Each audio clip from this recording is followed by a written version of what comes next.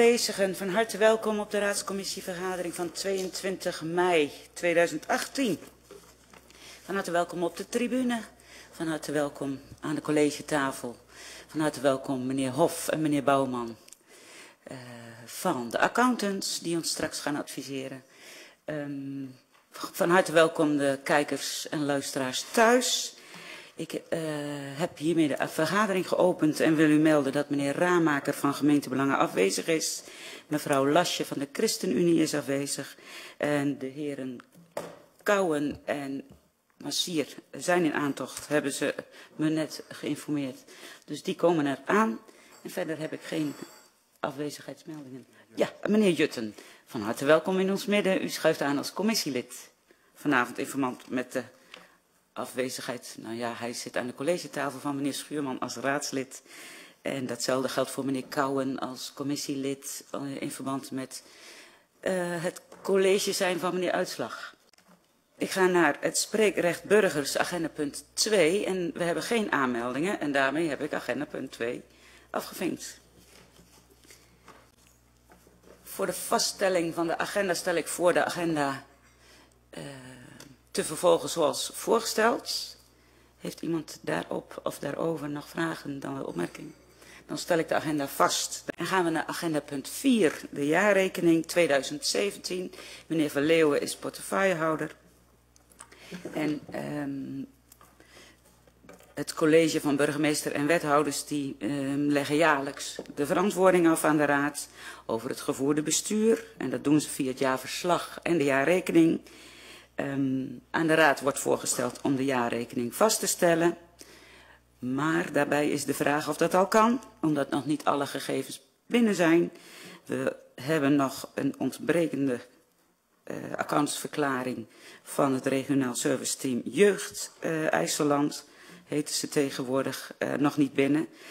Uh, dus er is nog geen uh, accountantsverklaring. We hebben wel een concept ontvangen onder voorbouw van allerlei mitsen en maren die daarmee te maken hebben. Um, wat we wel kunnen doen is vanavond uh, de jaarrekening beeldvormend en opinierend behandelen. Uh, en dus nog niet besluitvormend uh, richting raadsvergadering.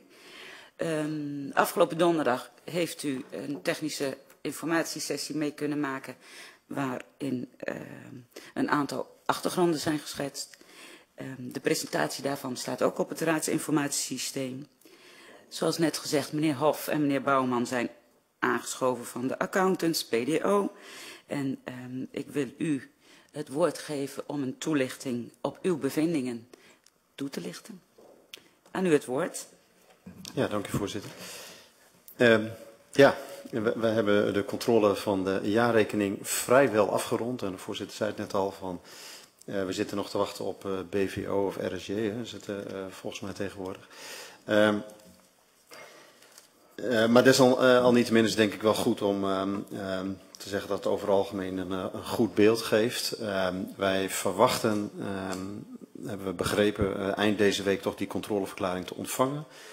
Op het moment dat we die hebben en die verantwoording sluit allemaal keurig aan met wat er op dit moment in de conceptjaarrekening staat, dan gaan we dat nog reviewen, gaan we in gesprek met die accountant. Dat is dan begin volgende week gepland en dan verwachten wij, nou, wat mij betreft medio, volgende week ook de verklaring definitief te kunnen maken. In ons accountantsverslag ook.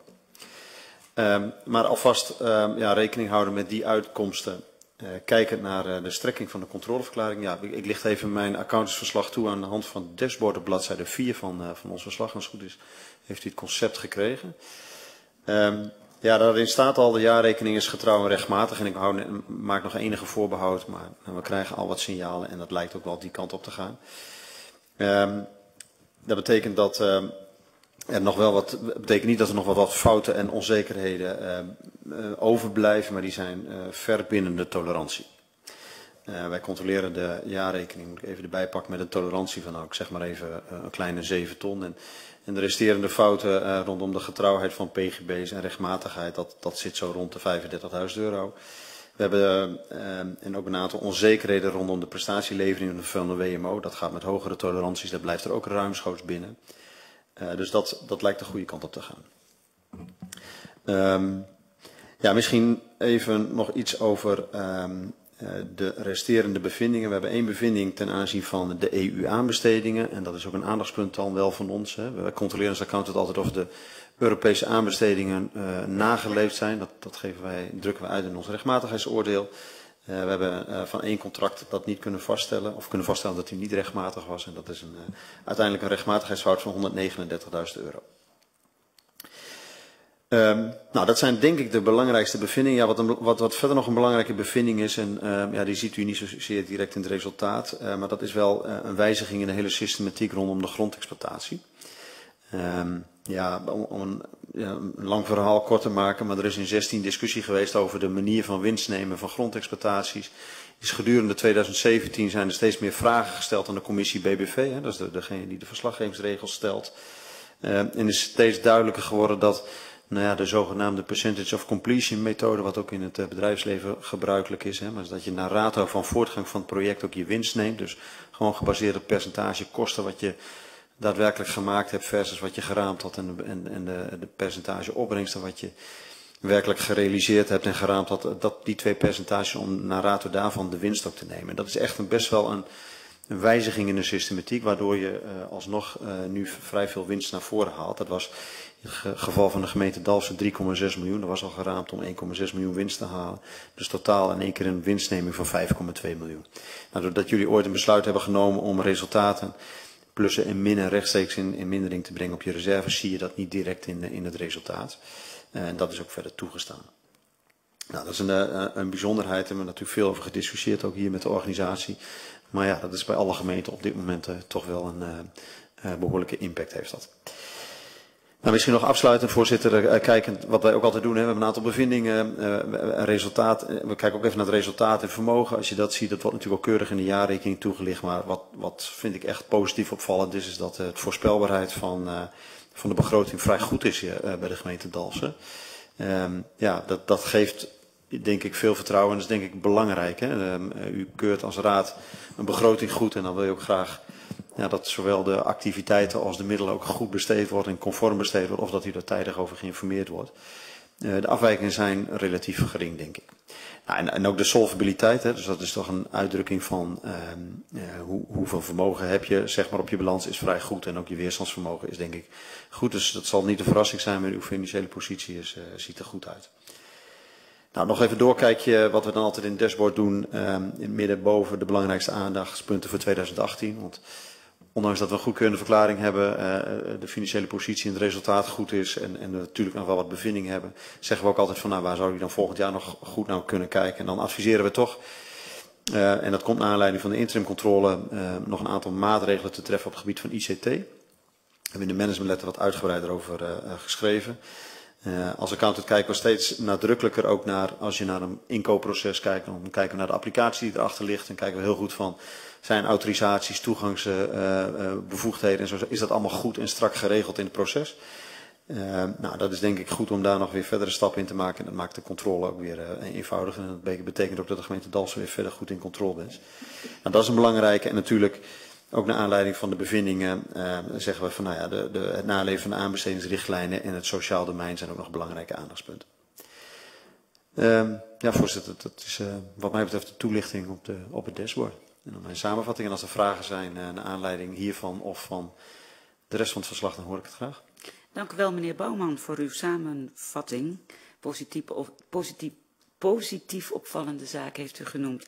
En ook nog een aantal aandachtspunten voor 2018. Ik dank u wel voor uw toelichting. Zijn er aan de heren accountants nog vragen vanuit de raadscommissie? Die zijn er niet. Ik wil u danken ja, voor uw... Mag ik toch, oh, neem niet kwalijk, uh, meneer ja. Kleine Koelkamp. Ik had een uh, paar vragen, maar u heeft er al enkele beantwoord, uh, meneer Bouwman. Er blijft eigenlijk nog één over. En we zijn de laatste jaren nogal geconfronteerd met dat er geen continuïteit meer zit in, in de jaarrekeningen. Door de BBV, vorig jaar hadden we de wethouderspensioenen, waren de verlofuren.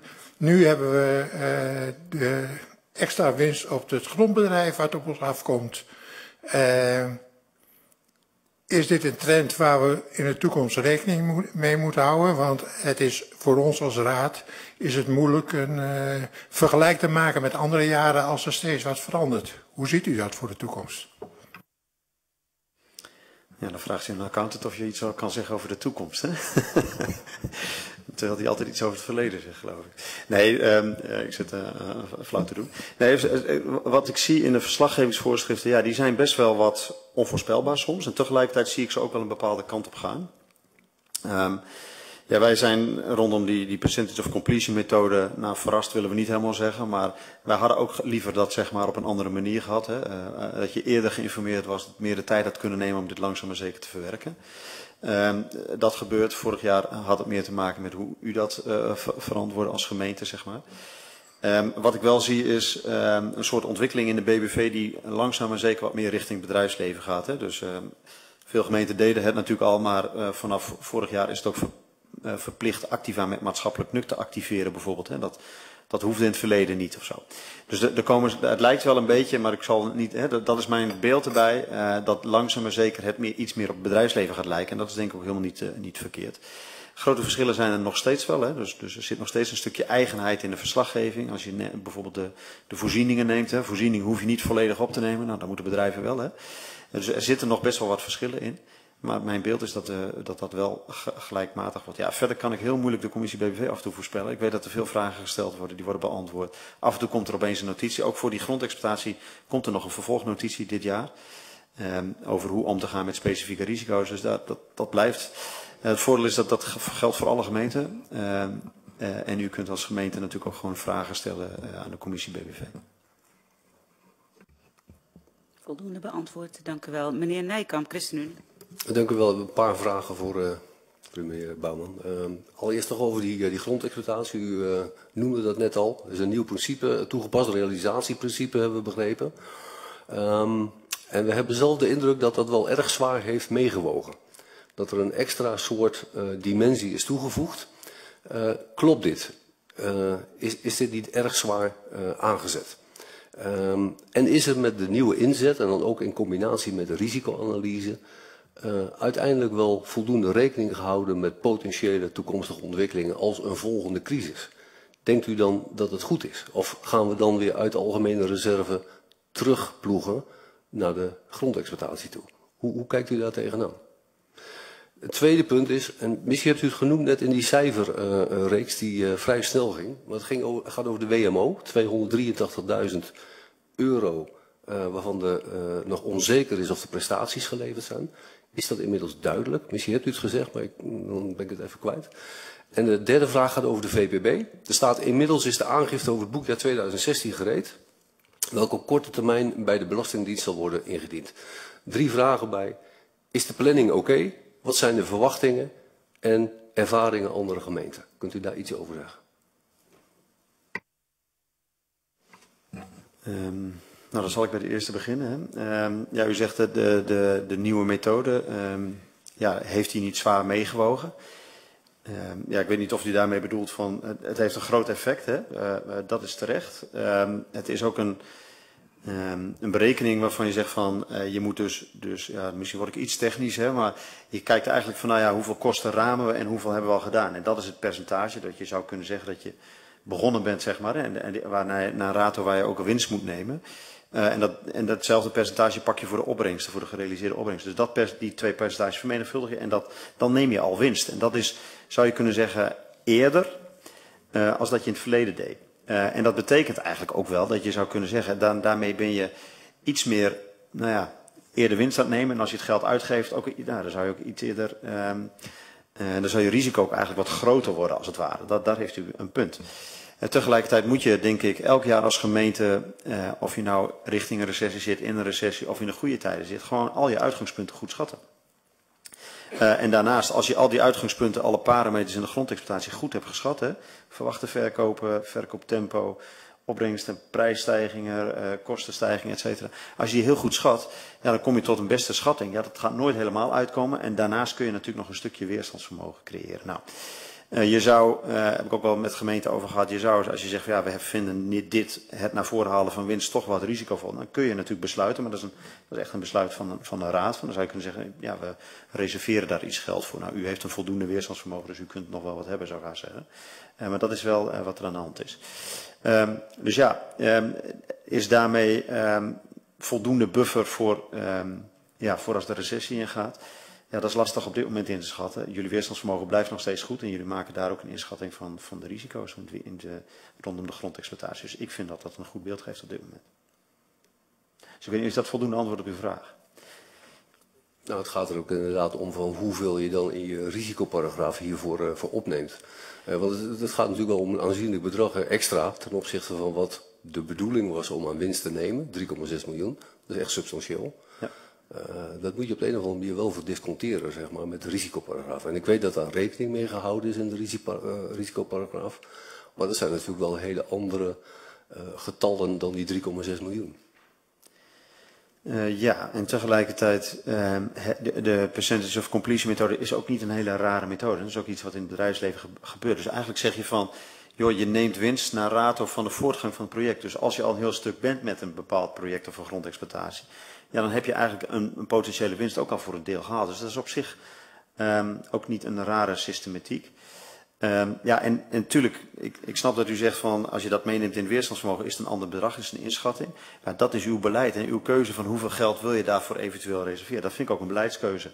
Ik zeg wel eens, ik weet niet, ik weet niet of ik dat hier wel gezegd heb, maar goed. Die, die risico-inschatting, um, ja, daar, daar, gaat iedereen verschillend mee om en dat moet u zelf doen. En als dat transparant in, uh, in, uh, in de paragraaf weerstandsvermogen staat, kunt u daar keuzes in maken. Als, ik geef als het voorbeeld van ja, als we hier allemaal zo'n wasmachine zouden kopen, hè, dan zijn er een aantal mensen die zeggen van nou, ik uh, verzeker hem direct. Hè? Dus dan, uh, als hij kapot gaat, dan ik kan bij de verzekering declareren, heb geen risico, maar kost wel premie. En er zijn mensen die zeggen, hé, hey, maar ik ga de komende jaren sparen. En er zijn mensen die zeggen, nou, als het ding stuk gaat, leen ik wel.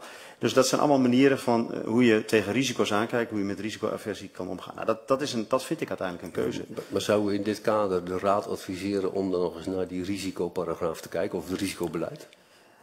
Uh, nou, niet zo specifiek in, in relatie tot de percentage of completion methode, maar het is niet voor niks dat wij in ons verslag ook wel aandacht besteden aan zowel solvabiliteit en weerstandsvermogen. En uw ratio is, is ruimschoots voldoende.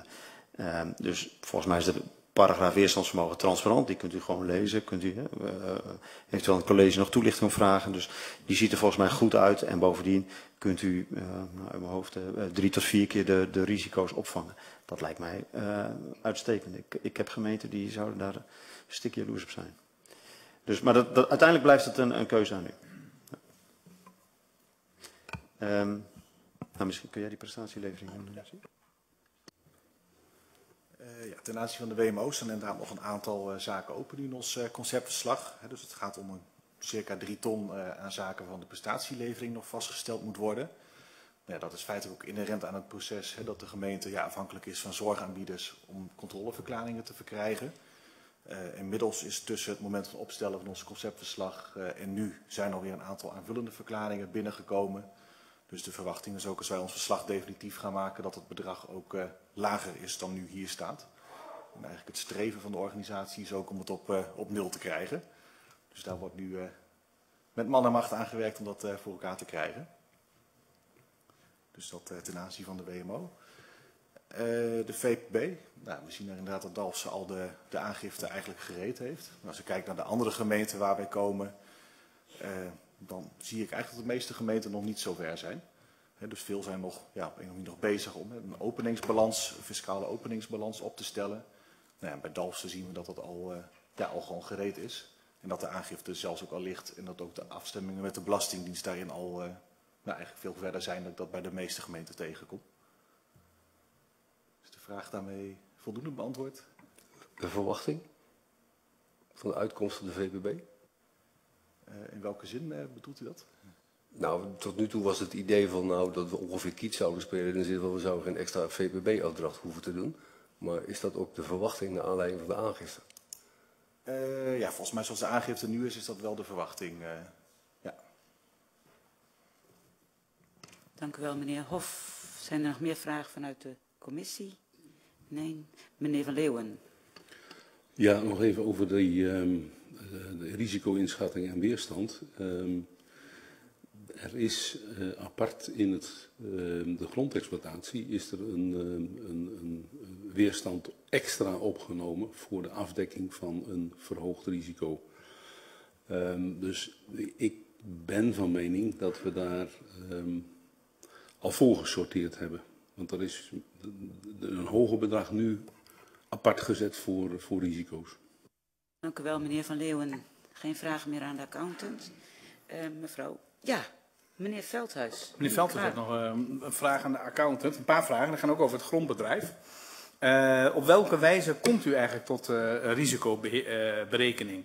Dus in hoeverre kunnen we nagaan of de risico's die, waar we van uitgaan, of die niet te laag zijn ingeschat? Een vervolgvraag daarop. Uiterlijk 2019 moeten er nog niet in exploitatie genomen gronden gewaardeerd worden tegen marktwaarde. En in hoeverre is hier, hierbij het opstellen van het risicoprofiel rekening gehouden? En even kijken, had ik nog een vraag voor de accountant. Uh, de gronden die nog niet in exploitatie zijn genomen, zitten die in de berekening van het risicoprofiel? Want als ze er niet in zitten, waar wordt dit risico dan voorzien? En nog even een laatste vraag, want dat was even naar aanleiding van de vraag van de ChristenUnie. dat vraag ik mij de hele tijd af. We gaan er nu de hele tijd vanuit dat we te maken hebben dat we winst moeten nemen, hè, dat snap ik. Maar op een bepaald moment als we verlies moeten nemen, gaan we dat dan uit de reserve vrij besteedbaar halen? oftewel is dat dan, ja, hoe, hoe, hoeveel gaat onze reserve dan nog zeggen? Want het is onze appeltje voor de dorst, zeg maar, als raad zijnde. Dus vandaar dat ik even een beetje op zoek ben van hoe risicovol dat dan is. Andere vragen, meneer Veldhuis? Nou, ik, ik hoor de wethouder op de laatste al antwoorden ja. Ehm, dus dat betekent dat u volgens mij besluit heeft genomen in het verleden om alle winsten en verliezen via de reserve grondexploitatie te laten lopen. Uh, dus dat is, dat is duidelijk. Ja, u, u, vraagt van hoe schat je de risico's in of hoe bereken je de risico's rondom de grondexploitatie. Nou, uh, dan moet ik even heel precies zijn. Hè. Kijk, um, wij, controleren de jaarrekening. Hè. Daar staan de grondexploitaties qua bedrag in. En hoe beoordeel je, toets je dat nou? Dan, dan ga je kijken, uh, dat heeft te maken met de waardering. Dus je moet zeggen, de post die is goed gewaardeerd. Dat toets je door te kijken naar de prognoses. Dus de, de, de, prognoses van de komende jaren, de, de, de grondexploitatie opzet of de staten P zoals je ze vroeger noemde. Uh, en dat betekent dat, dat we dan kijken van, naar al die elementen. En dan toets je van, nou ja, zijn de verkopen, uh, aantallen, zijn die, hè, zijn die houdbaar, zijn die reëel? Uh, en gaat dat in tempo? is de fasering goed? Zijn de prijzen, de opbrengsten die ingeboekt worden, zijn die reëel?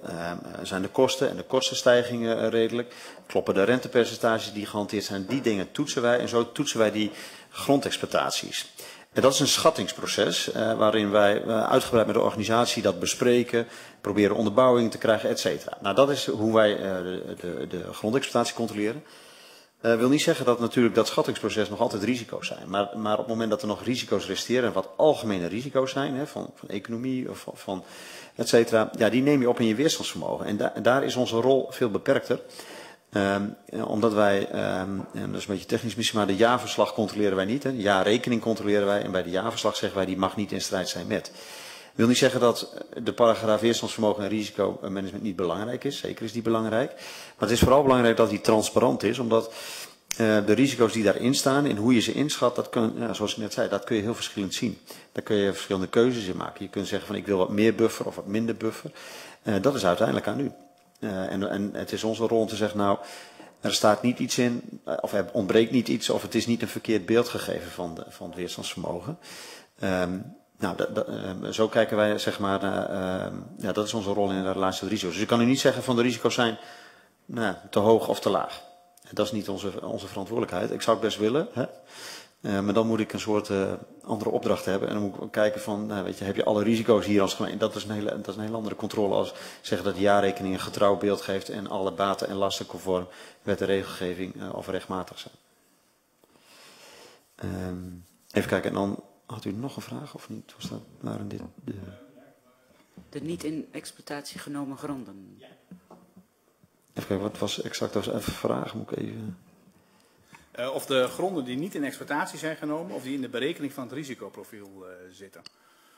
Het bepalen van het risicoprofiel. Ik weet niet exact of ze in de paragraaf weerstandsvermogen staan. Wat ik wel weet is dat de, de niet in exploitatie genomen gronden waren in het verleden onderdeel van je onderhanden werk, hè, van, je, van je grondexploitatie.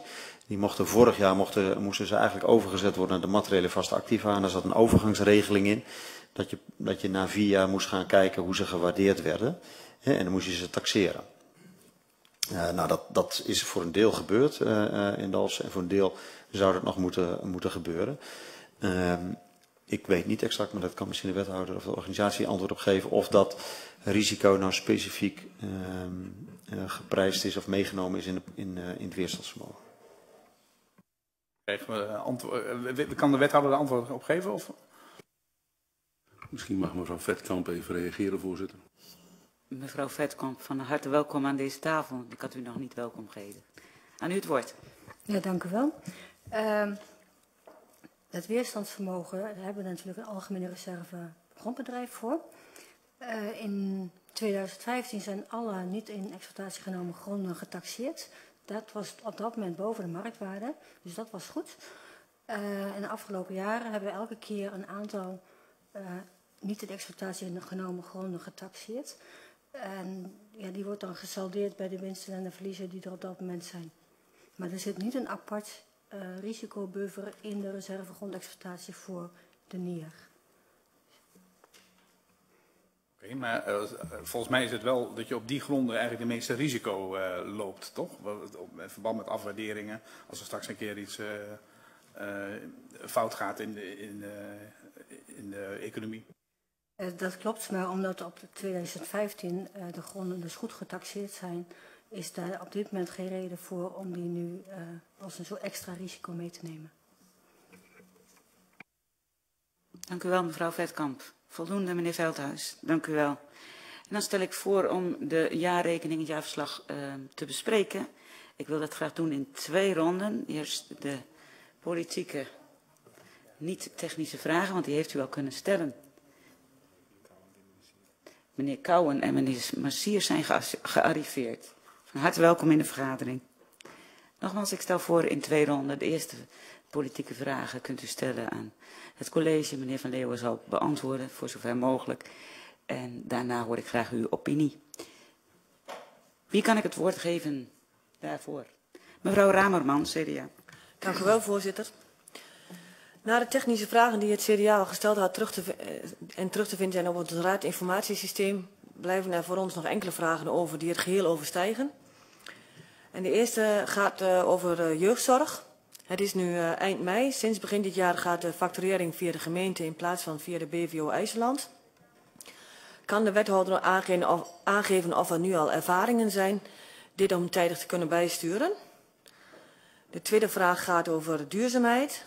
De warmteactie is eind vorig jaar gestart. Deze loopt tot juli 2018. Er is nu 10.000 van de 130.000 verstrekt. Bij onze technische vraag hierover wordt gezegd om deze te verlengen misschien tot eind dit jaar. De CDA-fractie CDA vraagt zich af of dit de behoefte is van onze inwoners en of we dit soort acties onder duurzaamheidsdoelstellingen gaan halen. Graag horen wij het voorstel hierin van de wethouder. Met betrekking tot het inkoopbeleid, waar ook de accountant al naar refereerde. In de jaarrekening staat vermeld dat we in gesprek zijn met het CS Servicecentrum uh, ONS om vanaf medio mei 2018 dus nu aan te sluiten bij een inkooporganisatie. Het is nu mei, kan de wethouder ons meenemen in de stand van zaken. En ook wordt er gesproken over de niet-praktische uitvoerbaarheid van ons eigen inkoopbeleid. Wordt dit probleem over de uitvoerbaarheid dan ook opgelost of moeten we hier nog andere acties ondernemen? Tot zover mijn vragen, voorzitter. Dank u wel, mevrouw Ramerman. Meneer Nijkamp, ChristenUnie. Dank u wel, uh, voorzitter. Onze eerste vraag gaat over uh, sociaal domein, over de jeugdzorg. In de technische beantwoording is aangegeven door het college dat we daar 780.000 euro extra aan gaan uitgeven. Het college geeft ook een winstwaarschuwing in dat, uh, in dat kader. Maar vorig jaar hebben we een soort vergelijkbare conclusie al getrokken met betrekking tot de jeugdzorg, namelijk rondom de tweede bestuursrapportage. En daar staat letterlijk oorzaak van het nadeel is gelegen in een stijging van het aantal cliënten in 2017 en een aantal jongeren dat gebruik maakt van een intensievere en daarmee duurdere zorg. We gaan dit nader onderzoeken. Wat is er sinds die tijd onderzocht en wat zijn de conclusies en wat zijn eventuele maatregelen? Want we zijn een half jaar verder. Dan tweede punt. Het hoge percentage externe inhuur wordt verklaard door laag ziekteverzuim. Dat hebben we afgelopen donderdag ook wat merkwaardige redenering gevonden en we zijn benieuwd of daar inmiddels een logische verklaring voor is. Dan een derde vraag, dat gaat over het saldo waarvan voorgesteld wordt om dat in de algemene reserve vrij besteedbaar te storten. Maar daar zit voor een deel nog een uitvoeringsverplichting 2018 in. Dat is ook afgelopen donderdag aangegeven. Maar misschien kan de wethouder ons nog even concreet aanwijzen waar dat nou staat, dat ook een deel van die algemene reserve daarvoor gebruikt wordt. Want ergens moet dat verwoord zijn, uh, maar we konden het zo gauw niet vinden. En de laatste vraag, uh, dat gaat over uh, de bevinding met betrekking tot de onrechtmatigheid van de aanbesteding. Die zou inmiddels op 1-4 dit jaar opgelost zijn. Is dat ook daadwerkelijk het geval geweest? Dank u wel. Dank u wel, meneer Nijkamp. Meneer Kleine Koelkamp, gemeentebelangen. Dank u wel, uh, voorzitter. Uh, ja, een viertal vragen voor de wethouder. Uh, en de eerste komt een beetje overeen met wat ook de ChristenUnie al zei in zaken de jeugdhulp. Hulp. eigenlijk onze vraag is, wilt u dit nader specificeren en hoe denkt u in controle te komen? Maar vraag 2, maar ook in de participatiewet zijn er behoorlijke financiële tegenvallers van euro 948.000. Lezen we in de jaarrekening. Maar ook in de kadernota die we later vanavond behandelen. Had dit ook niet meegenomen moeten worden in de winstwaarschuwing? En hoe komen we hier in controle? Vraag 3. Klopt het dat er in 2019 geen scheiding meer zal zijn in het gemeentefonds wat betreft het sociaal domein en de andere stortingen? En hoe gaan we daar dan mee om? Vraag 4. En dan kom ik terug op ons, een van onze technische vragen. Op onze technische vraag in zaken jongeren met een jeugdreclassering geeft u wel een zeer technisch antwoord. Wij willen ook wel graag weten waarom de bronhouder van, Dals, van Dalsen en nog enkele gemeenten deze cijfers niet vrij, vrijgeeft. Wat is de reden? Dank u wel, meneer Kleine Koelkamp. Rechts van mij, meneer Veldhuis, VVD. Dank u, voorzitter. Uh, onze vragen gaan uh, vooral over waarom het lijkt alsof soms dingen uh, zomaar in één keer in het vierde kwartaal naar boven komen drijven. En ik zeg niet dat het zo is, maar zo komt het op ons over. want volgens ons moet het toch al eerder zichtbaar zijn. We zijn ook benieuwd hoe dit werkt. En misschien komen we zo beter, tot een, ja, beter in controle over deze onderwerpen. Als eerste de OZB. Deze valt 135.000 euro hoger uit dan begroot. Vraag is hoe het kan dat we hier pas in het vierde kwartaal zicht op krijgen. De OZB wordt namelijk volgens ons in het begin van het jaar al opgelegd. Het is nu een voordeel, maar het had ook zomaar dan een nadeel kunnen zijn. Dus waarom hebben we daar nu in het vierde, uh, tenminste op het laatst pas, uh, zicht op? Um, dan nog een vraag over de omgevingsvergunningen. U geeft aan dat vanaf september sprake is van veel extra vergunningen met hoge bouwkosten. Waarom weten we zo laat dat er sprake is van deze extra vergunningen? Want dit is toch ook al bekend bij de overdracht van de grond. Tot zover onze vragen. Dank u wel, meneer Veldhuis. Meneer Broer, op Partij van de Arbeid. Ja, dank u wel, voorzitter. Ik wil het kort houden. Ik sluit me graag aan bij de gestelde vraag over de jeugdzorg van het CDA. Dank u wel. Dank u wel. Meneer Schrijver, D66. Ik wil het ook graag kort houden. er is uh, met name natuurlijk beoogd om maatschappelijke effecten te bereiken. En de jaarrekening is de cijfermatige, grotendeels cijfermatige weergave ervan. Um, ik heb ook even teruggekeken naar de bespreking van de jaarrekening 2016. Toen werd door de wethouder ook al de voorspelling gedaan dat het overschot in het sociaal domein best is als sneeuw voor de zon zou kunnen verdwijnen. En dat blijkt nu ook zo te zijn. En de vraag is even, is het maatschappelijk effect nu wel bereikt? Of uh, gaat er misschien geld verloren aan dingen waar het effect niet bereikt wordt? Dank u wel, meneer Schrijver. Er zijn een aantal vragen gesteld aan de wethouder. Die schrijft nog even. Mag ik u het woord geven, meneer Van Leeuwen? Ja, dank u voorzitter. Er zijn een aantal vragen die ik uh, aan de collega's toch even wil doorspelen. En mevrouw Vetkamp, die heb ik ook even als, uh, als hulp nodig. Um, de jeugdzorgvragen die uh, zal de heer Uitslag gaan beantwoorden. De um, duurzame, daarvan vraag ik u om de heer Schuurman het woord te willen geven zometeen. het inkoopbeleid, Shared Service Center... Stand van zaken vraagt mevrouw Rameman naar. Het is vanmorgen behandeld in het uh, college. En wij hebben daar, uh, dat komt natuurlijk allemaal nog uw kant op. Wij hebben daar de intentie uitgesproken om daarin te gaan uh, deelnemen. Om op die manier onze kwetsbaarheid terug te brengen. En ervoor te zorgen dat er een, ehm, een ehm, stevige organisatie is die de interne dienstverlening kan regelen. Dat is enerzijds uh, op het ICT gebeuren, maar dat is ook ons inkoopbeleid. Er is op dit moment een uh, nieuwe inkoper, die is een week of twee geleden begonnen. Ook al vanuit het uh, Shared Service Center wordt die ingehuurd om ons te adviseren. En daarbij um, met name op het uh, gebied van de uitvoerbaarheid ons, uh, ons verder te helpen. Dus dat is even de stand van zaken.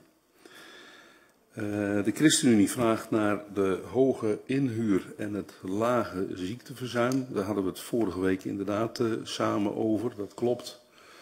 Ehm, daar heb ik vandaag, vanavond, een antwoord op gekregen. Dus dat wil ik graag met u delen. En dat gaat om het uh, volgende.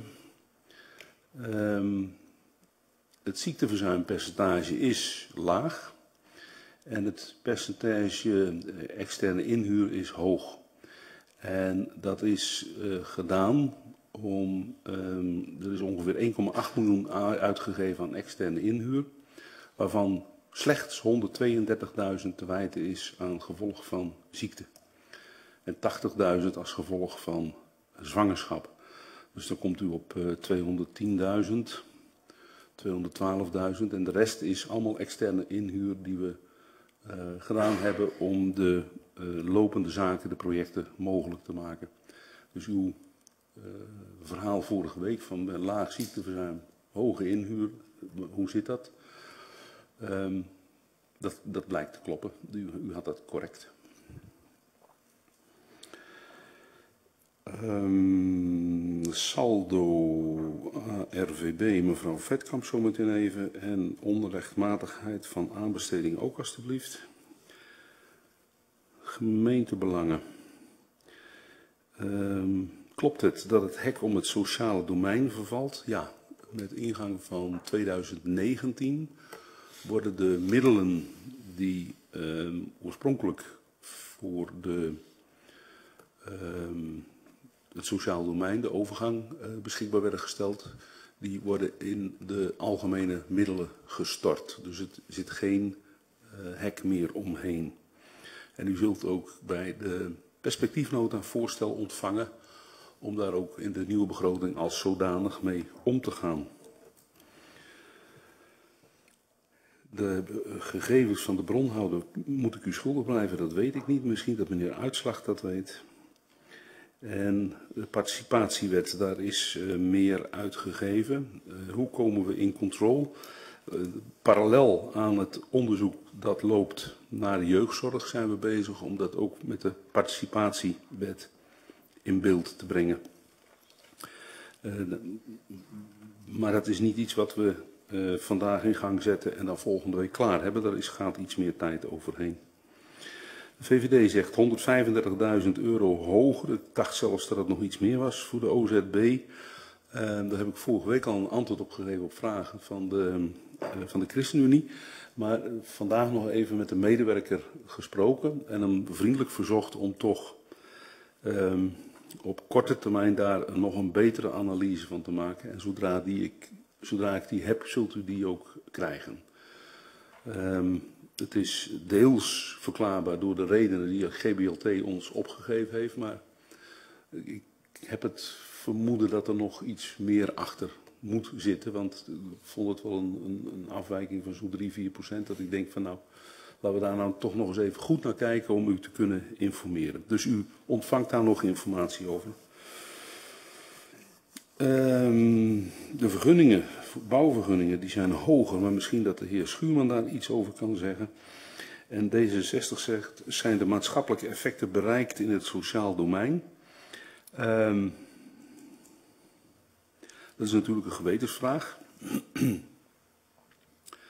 Eerste analyse die we zien van, uh, van jeugdzorg participatiewet geeft aan dat wij er dus erg zorgvuldig mee omgaan. Dat wij juist um, kosten voor onze rekening, dat we mogelijk kosten voor onze rekening nemen die we elders zouden kunnen neerleggen. Maar we willen de mensen niet zonder zorg laten zitten. De analyse zal daar verder uh, uh, uitsluitsel over moeten geven. En voor het overige wil ik toch verwijzen naar de halfjaarrapportages waarin wij verantwoording afleggen over het gevoerde beleid. En ik durf eigenlijk de stelling wel aan dat we als gemeente Dalfsen um, erg zorgvuldig omgaan met de mensen die zorg nodig hebben.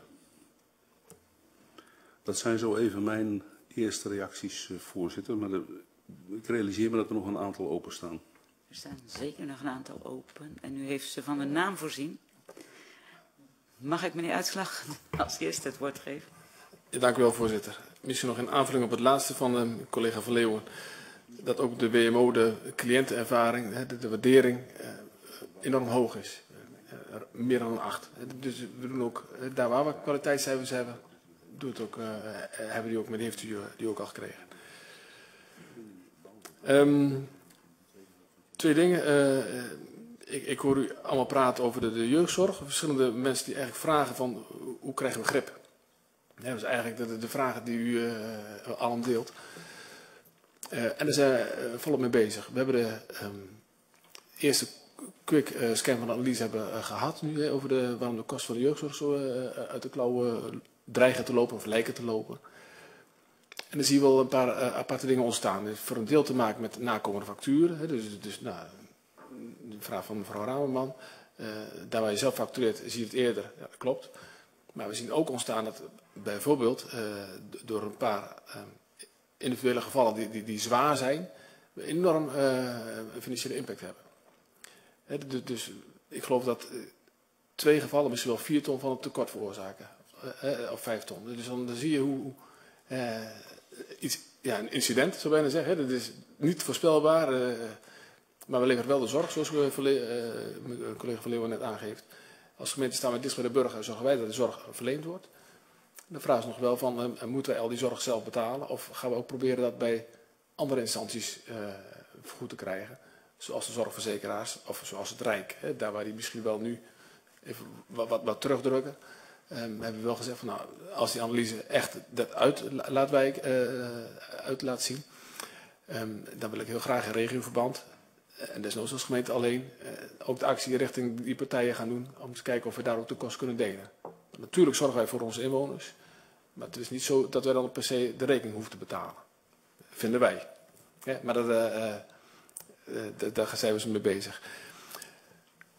Dus de uh, analyse laat een heleboel dingen zien. Uh, wat ik een vorige vergadering, een vorige vergadering wil aangaf, is dat ook andere gemeentes bezig zijn met andere soortige uh, evaluaties. En die komen er na de zomervakantie, proberen die bij elkaar te brengen, zodat we ook echt een, een integraal beeld hebben over het een veel breder spectrum.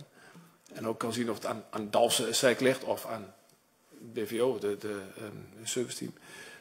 of misschien aan, aan wat anders. Hè. nou, dat, soort informatie heb ik nog niet zit ik op te wachten? Ja, enorm, hè, want daar kunnen we ook wat aan gaan doen. De eerste analyse heeft wel laten zien dat als we nu... Uh, de eerste gevoel is van we grijpen in op basis van wat we zien, um, hè, waar, waar de, overstijgingen zijn. En soms worden ze veroorzaakt op een heel ander terrein. En, de, en met de eerste impuls is om waar overstijging is in te grijpen, terwijl dat op het andere terrein had gemoeten. Dus ik wil even die analyse echt afwachten voordat we de goede maatregelen kunnen nemen. Maar dat we aan bouwen zijn uh, en uh, op zoek zijn naar grip, uh, dat mag evident zijn.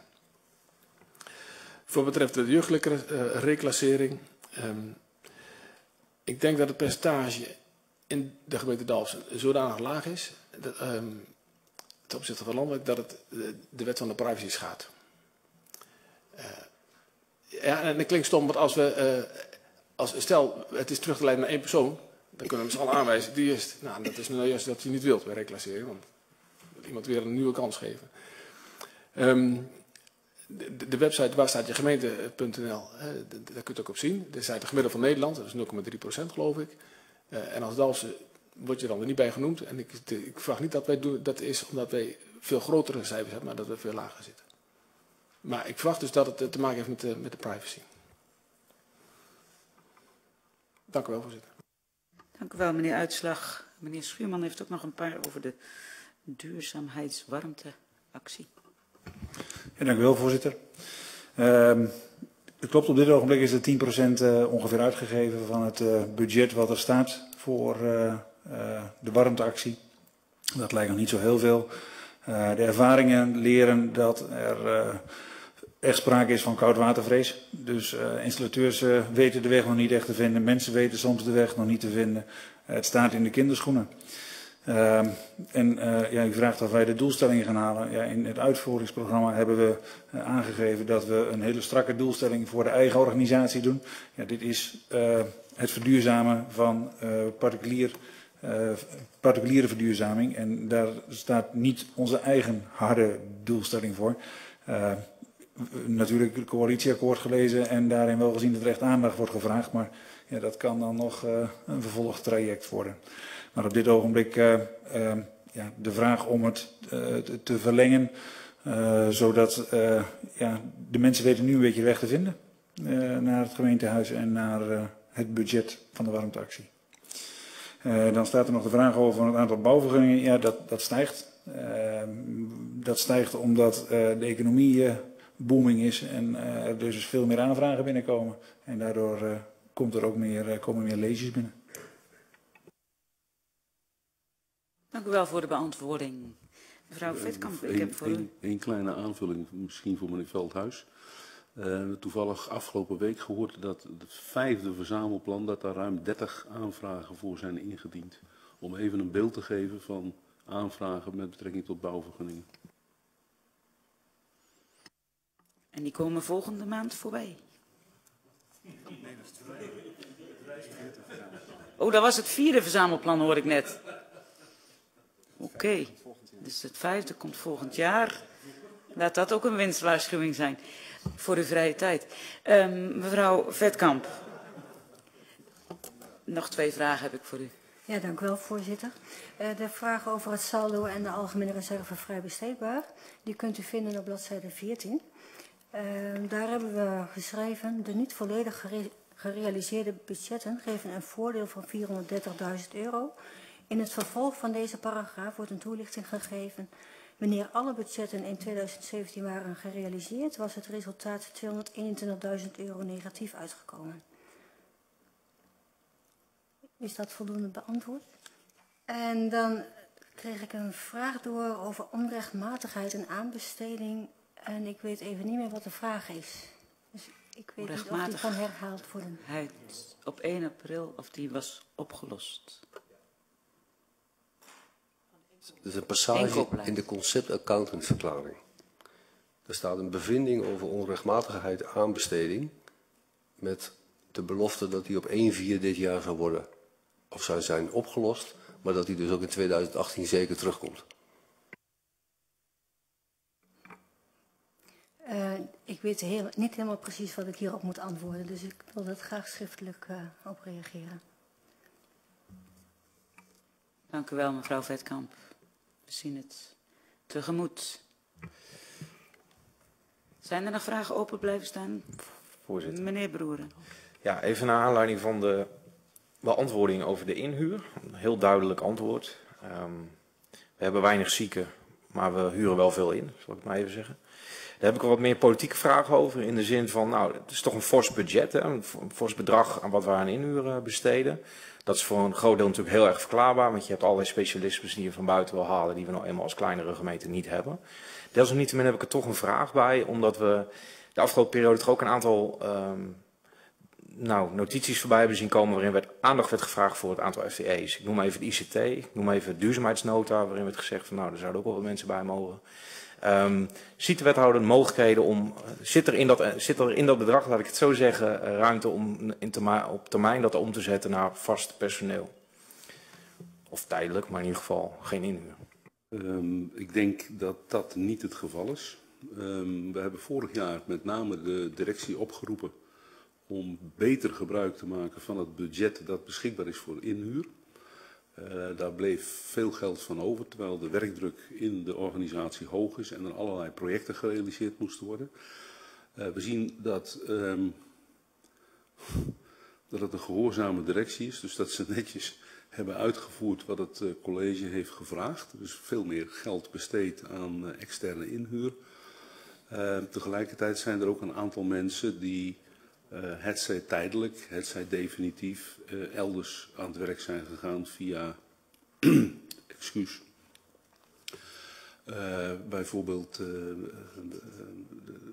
iemand die het een poosje in Raalte gaat, gaat uitproberen. Ja, daar moet je iemand anders voor inhuren. Uh, iemand die bij de provincie uh, Groningen uh, tijdelijk ingehuurd wordt. Ja, daar hebben wij zelf vervanging voor nodig. En natuurlijk krijg je wel geld terug daarvoor. Maar het kost altijd meer geld als je iemand in, in moet huren. Dat is nog een keer zo. Ehm, los van, want uw vraag is, kunnen wij daar van dit geld mensen vast. ik zou dat niet ambiëren. Ik zou echt graag ook die flexibele schil willen houden. Maar u krijgt wel bij uh, de perspectiefnota een, uh, een, een, beeld van wat wij graag zouden wensen en wat voor geld daarvoor nodig is. Dus, uh, en dat zijn dan wel eh, vaste plekken.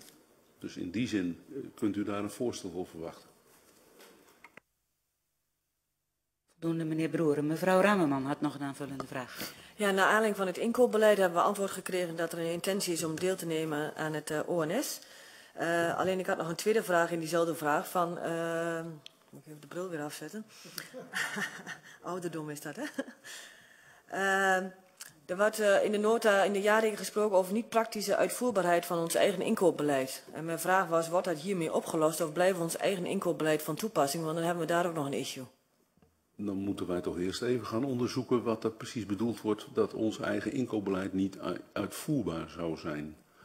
Um, ja, dat, het staat er. Dat, uh, dat geloof ik van u. Uh, maar ik heb daar niet direct een beeld bij. Ik kijk even naar mijn collega. De 25 kilometer, dat is een prima grens. Ik bedoel, uh, je kun je van afwijken. nou, we gaan dat even nog voor u na, wat, wat precies het probleem is. En we komen daarop terug. Maar als het de 25 kilometer grens is, ja, die, die hebben we hier vastgesteld met elkaar. En daar kun je, uh, als die niet praktisch is, kunnen we daarvan afwijken. Dat is ook opgenomen. Dus, maar ik ga het even voor u na. Dat noteren we als een toezegging en dat u ons informeert schriftelijk via het raadsinformatiesysteem. Zijn er nog meer aanvullende vragen? Kijk rond. Niet. Dan wil ik graag uw opinie horen. Wie mag ik als eerste het woord geven? Meneer Broeren, Partij van Arbeid. Ja, dank u wel, voorzitter. Nou, ik probeer uh, in stijl verder te gaan waar uh, mijn voorganger gebleven is. Ik denk dat onze bijdrage enigszins voorspelbaar is. Um, Allereerst dank voor het aanbieden van de jaarrekening. Een flinke klus voor zowel ambtenaren, accountants, het college en als sluitstuk ook ons als raad. Um, de jaarrekening van de gemeente Dals is over het algemeen een jaarrekening om vrolijk van te worden. Wederom kunnen we als gemeente Dals in 2017 een flinke plus noteren. Dit ondanks tegenslagen binnen de begroting sociaal domein, zoals we net ook uitvoerig besproken. Elk jaar worden er voor de komende jaren dreigende wolken geprognosticeerd die ons tot voorzichtigheid manen. En dat is terecht en begrijpelijk. Maar Dals is een sterke gemeente. We kunnen dit soort tegenslagen opvangen. En dit laten we al jaren zien. En wat ons dan toch echt nog steeds onvoldoende lukt, wat de Partij van de Arbeidsfractie uh, betreft, is scherper begroten. Ook dit jaar blijkt weer dat we achteraf bezien meer hadden kunnen doen met de middelen die ons door onze inwoners ter beschikking zijn gesteld. Iets wat de fractie van de Partij van de Arbeid al een kleine tien jaar constateert. Wildvang mag dan wel weg zijn. Het gat van wildvang is er nog steeds. Wij zijn benieuwd of het nieuwe college, dit is natuurlijk een, uh, een resultaat van een vorig college, daar moeten we ook helder over zijn. Wij zijn benieuwd of het nieuwe college hier in de toekomst veranderingen aan kan brengen. Het is namelijk niet alsof er, niet een, alsof er een tekort aan opgaves ligt in onze gemeentes. Um, wij sluiten af met een compliment aan de organisatie, aan de gemeente, met de bekende kanttekening. Dank u wel. Dank u wel, meneer Broeren. Mevrouw Ramerman, CDA. Dank u wel, voorzitter. Dank en complimenten voor de opgeleverde stukken. Ze zijn duidelijk, de technische vragen die we hadden zijn beantwoord. We staan er goed voor als gemeente. Wat, wat dat betreft kunnen we kort zijn. Toch willen we nog enkele punten meegeven aan het college. Onze zorg omtrent jeugdzorg, welke we al veel vaker hebben uitgesproken. We krijgen hier als gemeente maar geen grip op. Het werd net al bevestigd door de wethouder. Het is goed dat we vanaf 2018 de facturering als gemeente zelf doen. Zodat we als gemeente sneller zicht krijgen op de kosten en tijdig kunnen bijsturen en preventief te werk kunnen gaan. Want dat is nodig om dit dossier in goede banen te leiden. We zien dan ook uit naar de toegerichte rapportage naar aanleiding van de onderzoeken en hopen in de eerstvolgende bestuursrapportage dat hier resultaten kunnen worden getoond. Dan de ontwikkeling op duurzaamheid. Hier hebben we nog wat stappen te zetten. De CDA-fractie is dan ook blij met de gezamenlijke afspraak die door de voltallige raad is gemaakt in de raadsagenda de kleurrijke kubus om het beleidsplan duurzaamheid de komende periode te herrijken. Want het mogen duidelijk zijn dat de huidige warmteactie niet, niet gaat bijdragen aan onze wensen van een duurzaam Dalsen. Beheer openbare ruimte. Vorig jaar hebben we afspraken gemaakt met ons beleid, om ons beleid integraal, met ons beleid integraal beheer openbare ruimte. We hebben toen afspraken gemaakt over de mate van onderhoud en de daarbij behorende kosten. We hebben nu te maken met een overschrijding. De CDA-fractie gaat ervan uit dat dit een incident betreft en dat we ons gaan houden aan, de aan het beschikbare budget. Het beleidsplan onderhoud gemeentelijke gebouwen. Deze komt in juni op de agenda. De CDA-fractie spreekt zijn waardering uit dat er nu eindelijk beleid komt voor de vervanging en onderhoud van onze gemeentelijke gebouwen. En dat deze niet meer geput hoeft te worden uit onze reserves. Dit om verrassingen in de toekomst te voorkomen. Dit gezegd hebbende zien wij uit naar de perspectiefnota, waar we weer vooruit kunnen kijken, kunnen bijsturen en daarop inzetten waar wij als CDA-fractie, wat wij als CDA-fractie belangrijk vinden. Dit alles voor een gezonde financiële gemeente die we door willen geven aan onze kinderen. Dank u wel, wel mevrouw Ramerman. Meneer Nijkamp, ChristenUnie. Dank u wel, uh, voorzitter. In uh, Den Haag noemen ze het behandelen van de jaarrekening Bijltjesdag. Onze fractie houdt niet zo van deze term. En wij kiezen liever voor een trompetdag. Een trompet kun je op meerdere manieren inzetten. Allereerst willen we iedereen die heeft bijgedragen aan de realisatie van de producten en diensten over 2017 hartelijk danken. Het betreft uh, college, ambtenaren en ook velen uit de samenleving. En zo'n jaarrekening geeft ook aan dat er veel gebeurd is. En tegelijkertijd moest er ook rekening worden gehouden met heel veel kaders.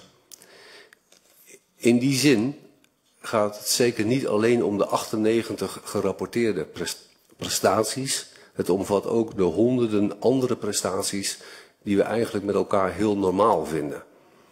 En we hebben veel goeds voor de inwoners kunnen doen. In deze zin zou je ook kunnen spreken over een loftrompet.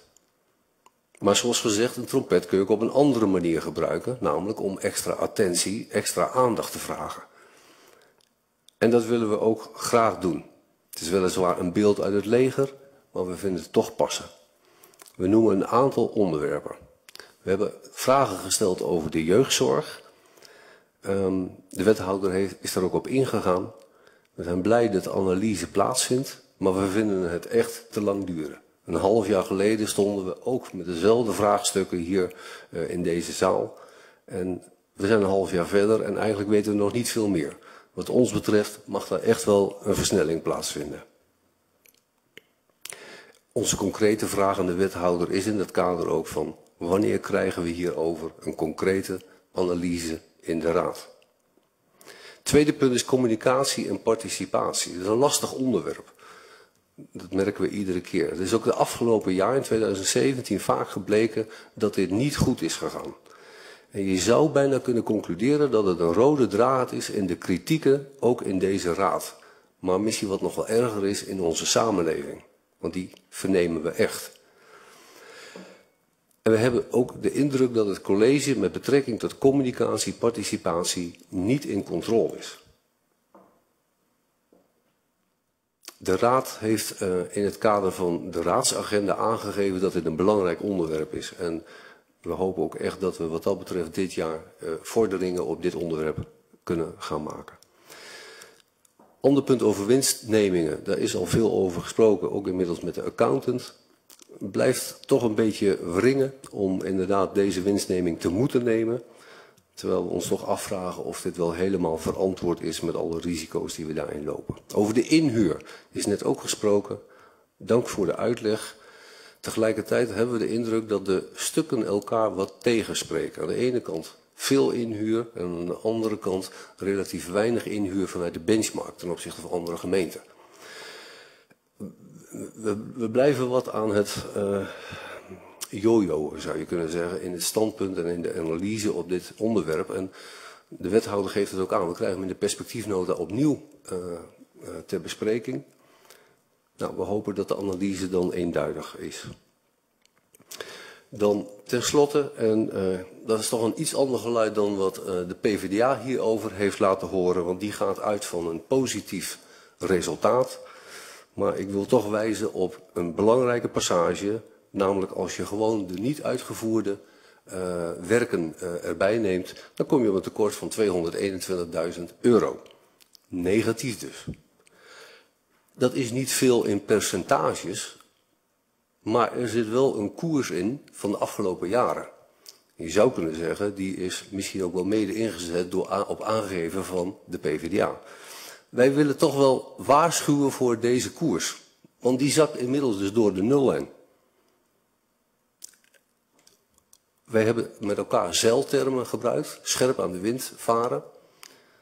We varen wat ons betreft dus gewoon iets te scherp aan de wind. En dat betekent ook in zeiltermen dat we iets moeten afvallen. Zeker gelet op een aantal onderwerpen die ook al in de, de eerste vragenronde werden genoemd door de gemeentebelangen. De ontwikkelingen in het sociaal domein. Denk ik dat we hier echt heel erg keen op moeten zijn.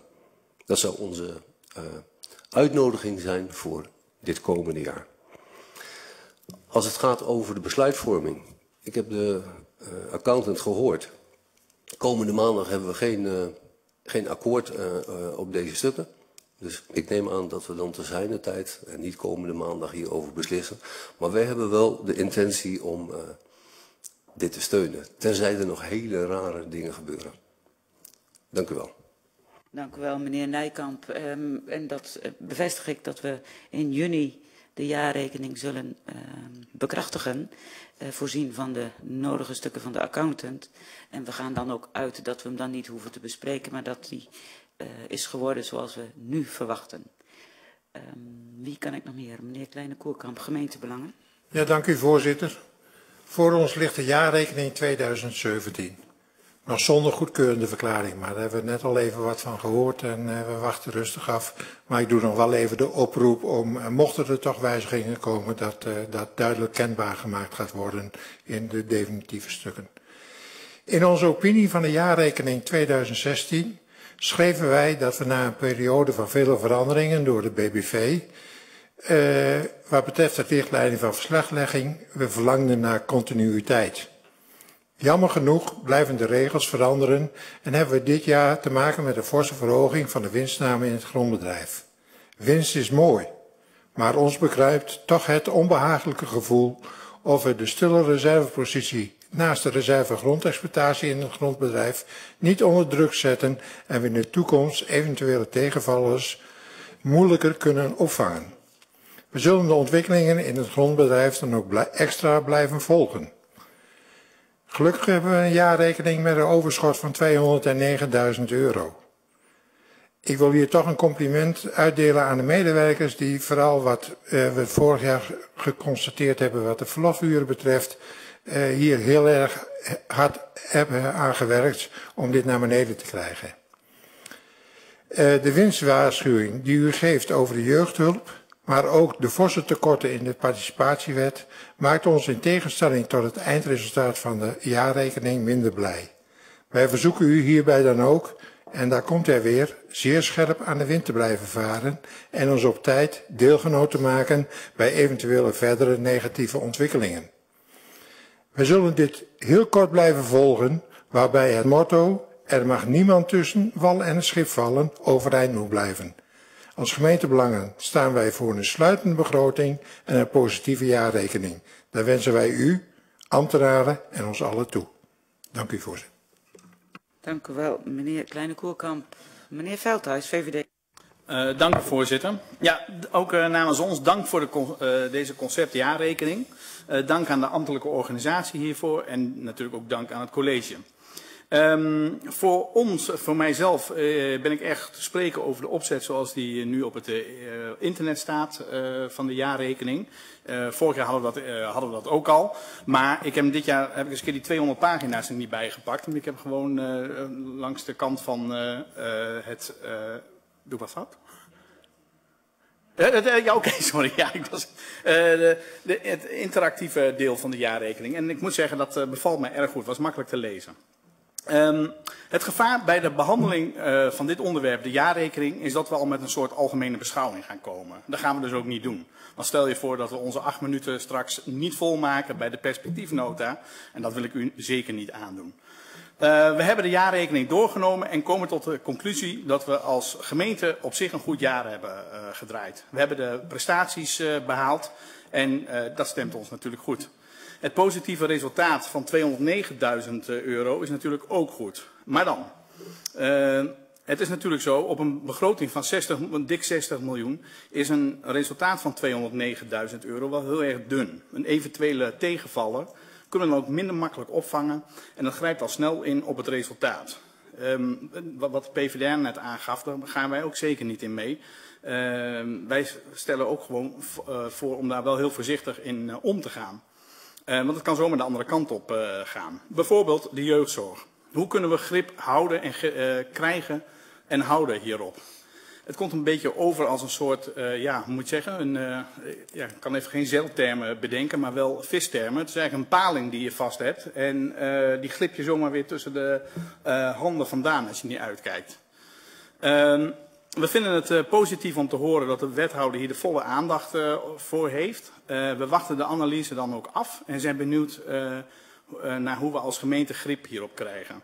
En we zijn net als de ChristenUnie wel benieuwd wanneer deze analyse naar ons toe gaat komen.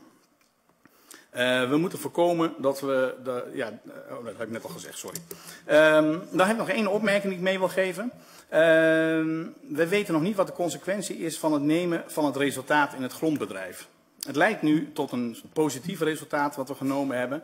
Maar of we door deze systematiek uh, straks dit soort bedragen ook uit de algemene reserve moeten gaan halen, uh, dat lijkt mij dan dat het een reserve wordt met een heel grillig verloop. En daar wil ik eigenlijk wel voor waken. Dus ik ben benieuwd of we daar nog iets in kunnen doen.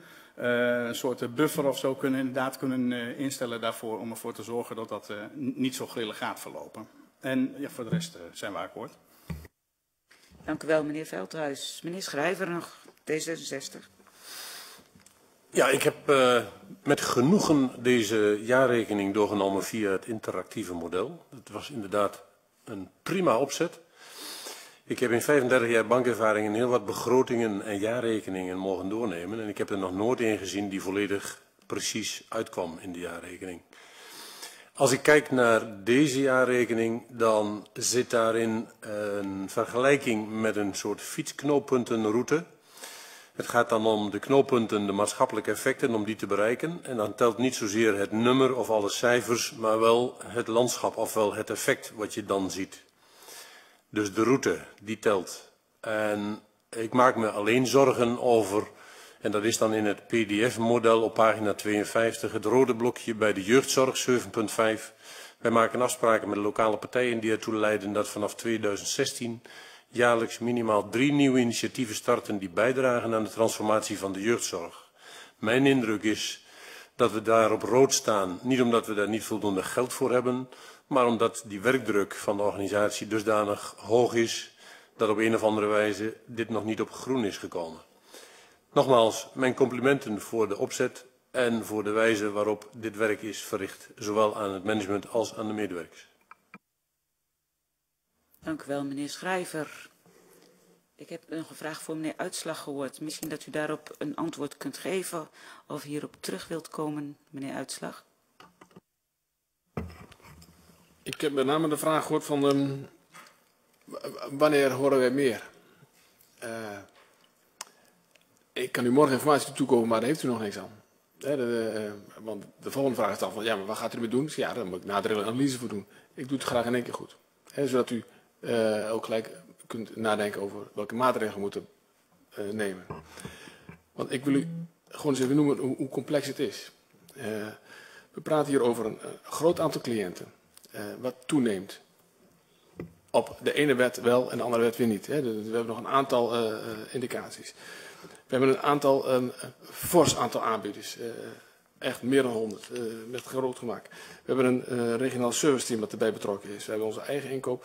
We hebben um, PMLQ versus resultaatbekostiging. We hebben preventief investeren en, extra begeleiden versus de zorg die je direct moet leveren. En al die variabelen zorgen ervoor dat we niet per se direct grip hebben. En dan heb ik de facturatie nog niet even genoemd. Dus u kunt zich voorstellen dat die analyse nogal wat tijd kost. Hebben we stilgezeten vanaf uh, uh, vorig jaar? Zeker niet. We zijn de facturatie zelf gaan doen. Om ook eerder uh, sneller grip te krijgen. Dus we hebben wel wat gedaan. maar ik probeer u net even te schetsen hoe complex het is. En dat ik hem er echt wat tijd voor neem en u liever een, een goed product geef dan een halfbakken product op basis van we gaan sturen en misschien de verkeerde kant op sturen. Want dat risico is echt aanwezig. Dus ik ga u geen moment noemen, wel dit jaar. Maar ik, een, een, maand noemen uh, betekent misschien ook wel teleurstelling organiseren. En dat vind ik even uh, te spannend. Maar dat het mijn uh, volle aandacht heeft, ik hoop dat u daarvan overtuigd bent. Dank u wel, meneer Uitslag, voor de beantwoording. Ik hoor december uiterlijk. Ja, ik, ik, weet, ik weet niet of ik hier dan zo, zo gelukkig mee ben. Ik bedoel, ik snap best wel dat er aan gewerkt wordt, maar daar zijn we minstens een half jaar geleden al mee begonnen. En op de een of andere manier krijgen we gewoon geen analyse boven tafel. Dus ik zou dan de wethouder, als hij geen datum kan noemen, in ieder geval willen vragen of hij ons mee wil nemen in de vorderingen. Want op de een of andere manier krijgen we en de oorzaken niet op tafel. Zolang we de oorzaken niet hebben, hebben we ook geen maatregelen. En het jaar 2018 is zo meteen voorbij. Oftewel, hebben we weer een jaar voorbij laten gaan. En onze oproep is van, kijk daar nog eens zorgvuldig naar. Kom met een planning. We zetten u in die zin niet onder druk. Maar waar het wel om gaat, maak het wel helder. En het wilde bij mij nog niet echt in dat we zeggen van nou ja, we doen ons best en misschien wordt het dit jaar. Maar ja, niet sterk. Echt een serieuze oproep om er even wat serieuzer naar te kijken. Dank u wel, meneer Nijkamp. Voor die... Voorzitter, ik, ik, ik hecht met name uh, eraan om even te kunnen reageren op het feit of wij niet serieus naar deze cijfers zitten kijken. Voorzitter, hier zitten mensen echt bloed, bloed uh, uit de, uh, het zweet uit de na te werken, zou ik bijna zeggen. Uh, dus ik neem echt afstand van de term, wij, kijken er niet serieus naar. Potverdikke, dit is nogal een bedrag wat er tekort komen. Nog los van het feit dat ik um, u ook op horen zeggen, geen mensen wel een schip. Marktsoplossing, wachtlijsten, per direct plafond. En dan gaan we kijken, nou dan hebben we de cijfers voor elkaar. Bent u dan gelukkig? Integendeel, ben ik dan gelukkig? Nee, diep ongelukkig. Want we laten mensen ten koste gaan van van de cijfertjes. Um, dus ik, ik, hecht eraan om afstand te nemen van de term uh, serieus naar kijken. Uh, we doen nogal wat. Uh, en ondertussen blijft de winkel ook gewoon open, zodat we echt de zorg kunnen verlenen aan de mensen die het nodig hebben. En als we onderaan de streep daar tekort wil komen, voorzitter, ik neem daar graag mijn verantwoordelijkheid voor. Dank u wel, meneer Uitslag, voor voorzitter.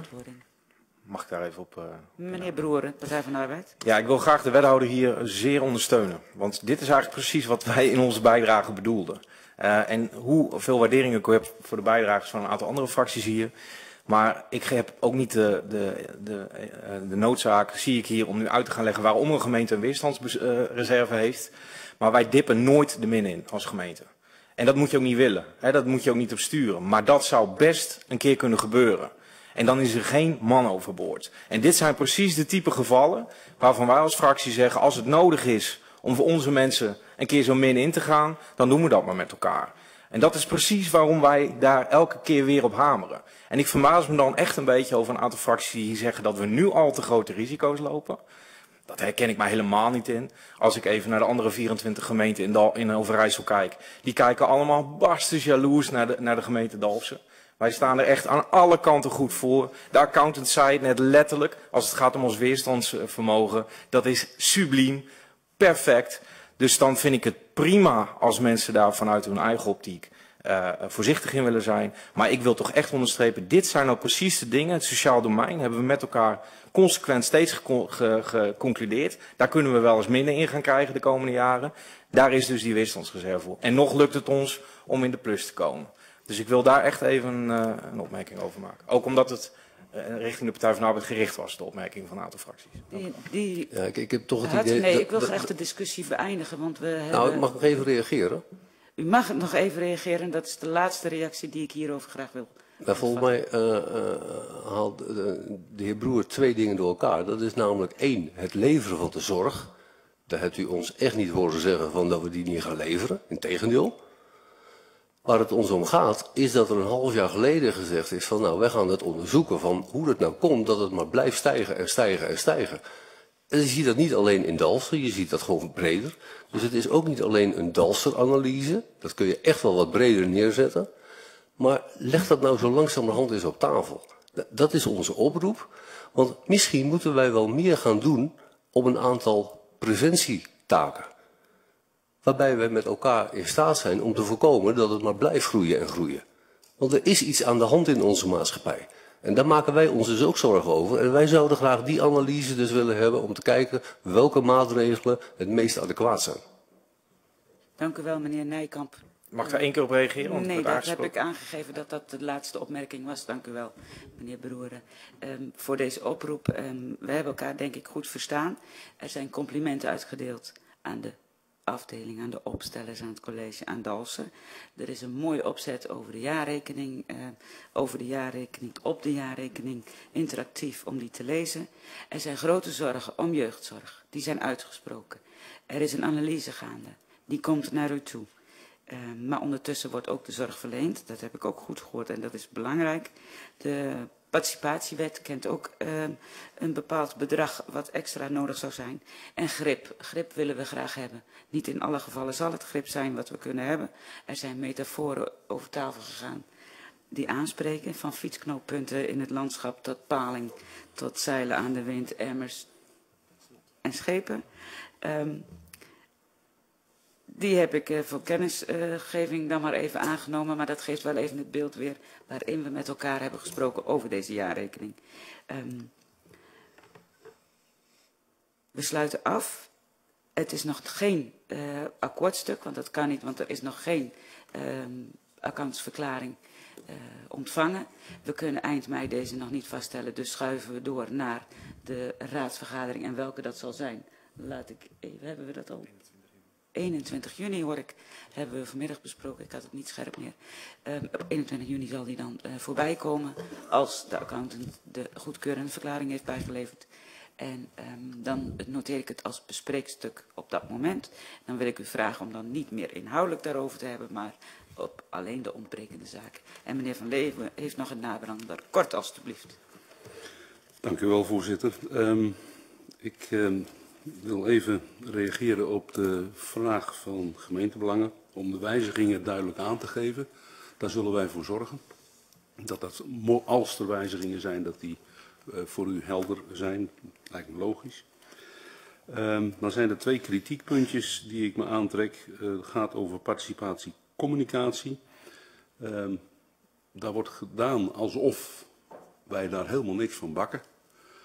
Ik ken het afgelopen anderhalf jaar twee processen die volgens mij meer dan uitstekend verlopen zijn en waar wij voor, waarvoor het college zelfs complimenten heeft gehad. Dus ik vind het erg gemakkelijk om nu te zeggen van daar bakken wij niks van. Dat ben ik gewoon niet met u eens. Het heeft wel alles te maken met verwachtingsmanagement. En van de processen die goed zijn gegaan, daar willen we nou juist van leren. Dan de Partij van de Arbeid.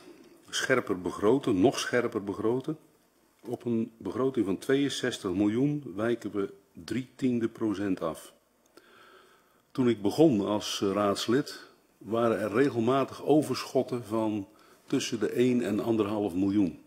En daar hebben we toen op geageerd. Ik, ik vind dat u hier geen recht van spreken heeft. Dank u wel, meneer Van Leeuwen, voor deze laatste opmerkingen. Die nemen we voor kennisgeving aan. Ik heb twee toezeggingen nog uh, gehoord. Twee toezeggingen uh, van meneer Van Leeuwen dat er een nadere, een nadere analyse nog naar ons zal toekomen over de, het verhoogde bedrag van de OZB. En over de 25 kilometer grens in de inkoop eisen. Heet dat zo? Inkoopbeleid. Inkoop en aanbesteding. Die praktisch niet uitvoerbaar zijn. En nog één.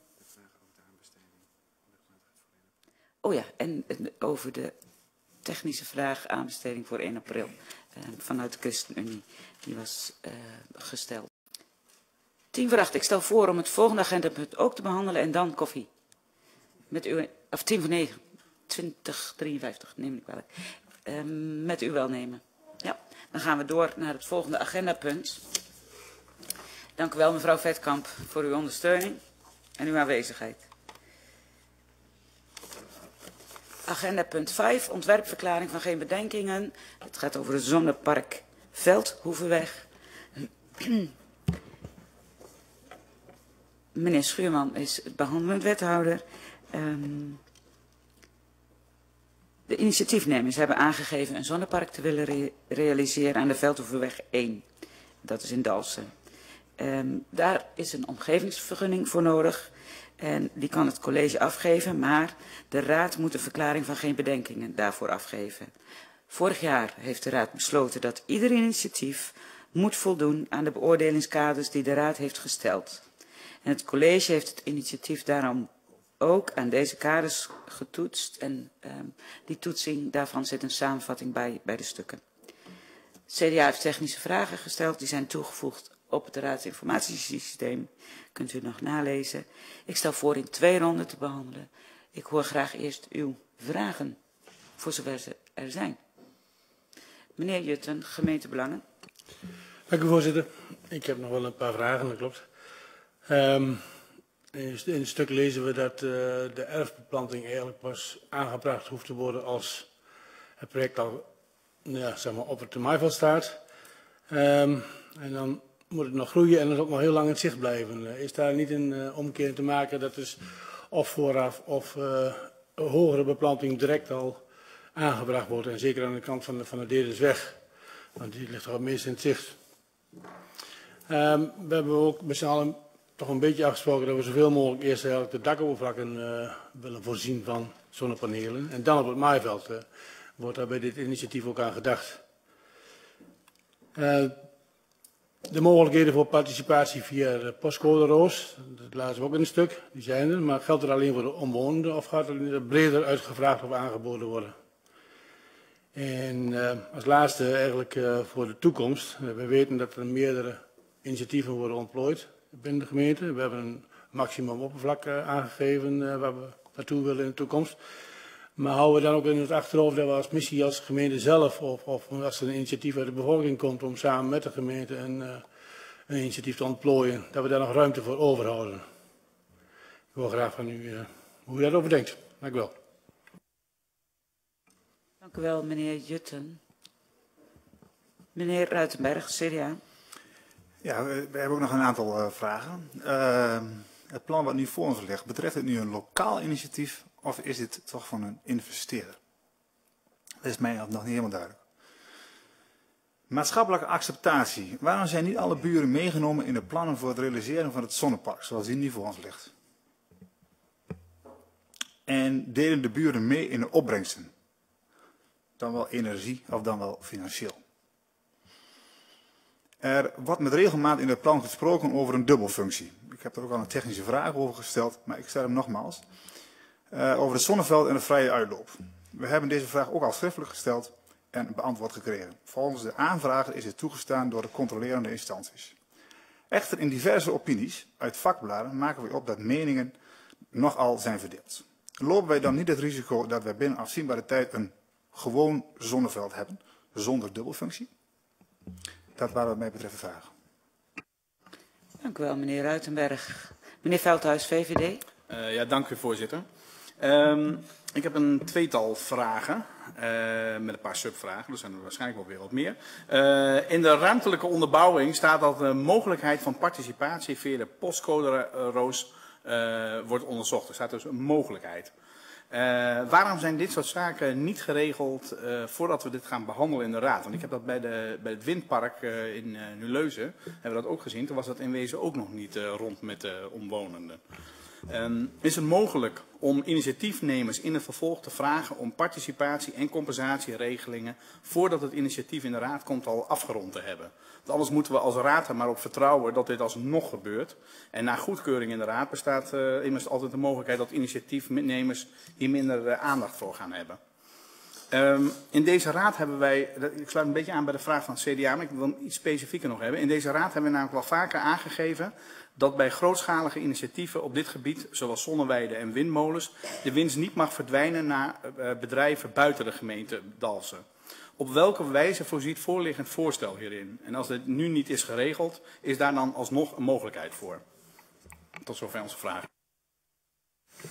Dank u wel, meneer Veldhuis. Meneer Broeren, Partij van de Arbeid. Ja, dank u wel, voorzitter. Ja, ik sluit toch daar graag bij aan, bij een aantal vragen. Want ehm, wij hebben in november een motie aangenomen als raad. En daar was ik eigenlijk wel benieuwd naar. Dat was de motie grootschalige opwekking. En daar stonden een aantal uitgangspunten in. Ehm, en wij zijn heel erg benieuwd hoe het daarmee staat. Met de uitwerking daarvan in beleid. En hoe ziet het college deze ontwikkeling in het licht van die motie? Dus hebben we het hier over iets grootschaligs? Nou, ik kan de vragen herhalen, maar het zijn eigenlijk de vragen oh, pardon, van met name ChristenUnie en eh, eh, VVD. Dank u wel. Dank u wel, meneer Broeren. Ik had de ChristenUnie niet gehoord nog in deze. Wat weet u? Nee, meneer Veldman, ChristenUnie. Dank u wel, voorzitter. Nou, ik heb de vorige keer ben ik begonnen met vragen. Nu wilde ik eindigen met de vragen. En nu kom ik tot de ontdekking dat bijna al mijn vragen zijn gesteld. Waarvoor dank aan mijn collega's. Ehm, maar ik heb er gelukkig nog een paar. Ik zal, alleen, ik zal even kijken welke er nog zijn overgebleven. Ehm, wel wil ik ook nog wel even aangeven dat, eh, nou, dat we blij zijn dat er in ieder initiatieven worden ontwikkeld op het gebied van duurzaamheid. Daar spreken we onze waardering voor uit. En we moedigen ook met name lokale initiatieven op dit gebied aan. Ehm ChristenUnie is voorstander voor het gebruik van de zonneladder. Jullie eh, wel bekend, denk ik. Ehm, en daarbij eh spreek ik ook de voorkeur uit om onze taken eerst, eerst te beleggen. Al zal dat niet voldoende zijn. Ehm, ook aandacht willen we hebben voor de eh, biodiversiteit die, eh, die bij zonneweides, ehm, nou, wat, dan, wat daarbij aan de orde is. Ehm, ik heb toch een paar vragen die ik wil stellen. Even kijken welke, al heb, welke er al zijn geweest. Ja, ik lees in het eh, plan, er wordt er gesproken over dat de initiatiefnemer bij omliggende agrarische bedrijven mogelijk asbest gaat saneren en zonnepanelen gaat plaatsen. Ik ben benieuwd hoe concreet dit is. En daarnaast eh, ben ik ook benieuwd of, eh, of er ook panelen op het dak gelegd gaan worden met dit initiatief. Of, of dat dat onderzocht is. Ehm, vanuit het vraagstuk participatie, nou, er zijn een aantal vragen over gesteld al, over hoe ziet participatie eruit en het zou een uitgangspunt moeten zijn. Ehm, en wat maakt dit een lokaal initiatief? Daar sluit ik me helemaal bij aan. Want hoe kunnen de, eh, ja, er wordt gesproken over 21 inwoners of 3400 woningen, hoe kunnen die deelnemen aan dit project? Ehm, kan er eventueel een stroomvoorziening aangelegd worden naar de kern, Dalfsen, Oud-Leuzen of Nieuw-Leuzen, eventueel met experiment eh, buurtbatterij? De provincie heeft onlangs 210 miljoen euro beschikbaar gesteld voor duurzaamheid onder andere. De provincie Overijssel wil namelijk de komende vier jaar in totaal 210 miljoen euro uittrekken om op het gebied van werkgelegenheid, bereikbaarheid, toekomstbestendige steden en vitaal landelijk gebied te benutten. Kunnen wij hier wat mee in relatie tot dit plan? Ehm, en als we uiteindelijk overgaan tot het aanleg van zonnevelden, ehm, nou, wat, dan sluit ik me aan bij de vraag over het medegebruik. Wat als men besluit eh, niet langer kippen te houden? Ehm, en die hebben we al gehad. De eisen aan de afscheiding sluit ik me ook bij aan bij gemeentebelangen. En zijn er eh, college meerdere initiatieven bekend op het gebied van eh, zonnevelden? Dank u wel. Dat zijn mijn vragen. Dank u wel. Meneer Veldman. Meneer Schrijver, D66. Ja, ik heb eh dit voorstel gelezen en daarbij dacht ik, dit is een win-win-win situatie. Er is sprake van een grondverhuurder die een extra inkomstenbron krijgt door de installatie van zonnepanelen. We werken mee aan meer duurzaamheid en de biodiversiteit wordt ook nog gestimuleerd met de erfbeplanting. En mijn vraag is eigenlijk, zijn er ook nog nadelen aan verbonden? Twijfels heb ik al wel gehoord. En ik heb nog één opmerking. Er staat in het formulier waarmee bouwen wordt eh, aangegeven. Bij vraag 3 seizoensgebonden en tijdelijke bouwwerken. Hoeveel hele jaren blijft het bouwwerk op de locatie bestaan? 25. En hoeveel maanden? Daar staat 12. En volgens mij moet dat gewoon 300 zijn. Ja. Dat waren uw vragen, meneer Schrijver. Dank u wel. Een hele serie vragen meneer Stuurman. Dank u wel, voorzitter. Uh, heel wat vragen over een onderwerp, uh, ook niet zo bijzonder. De eerste keer dat we een zonnepark uh, in deze raad behandelen. Dus dat is alleen maar goed dat er vragen er zijn. begin ik bij de vragen van de heer Jutten. de beplanting. ja, ik begrijp uw punt. u wilt graag hebben dat het, de, de, de panelen zo snel mogelijk aan het zicht ontrokken worden waar, waar mogelijk is. Uh, ja, we kunnen vragen aan de initiatiefnemer of ze uh, daar rekening mee willen houden en snel groeiende planten neerzetten. Of eerder al zo snel mogelijk te beginnen met beplanting, zodat je daarin een stukje winst haalt en misschien een seizoen kan winnen.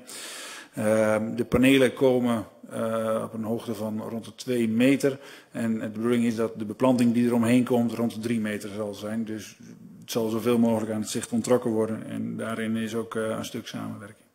Maar die gaan we zeker uh, meenemen naar de initiatiefnemer.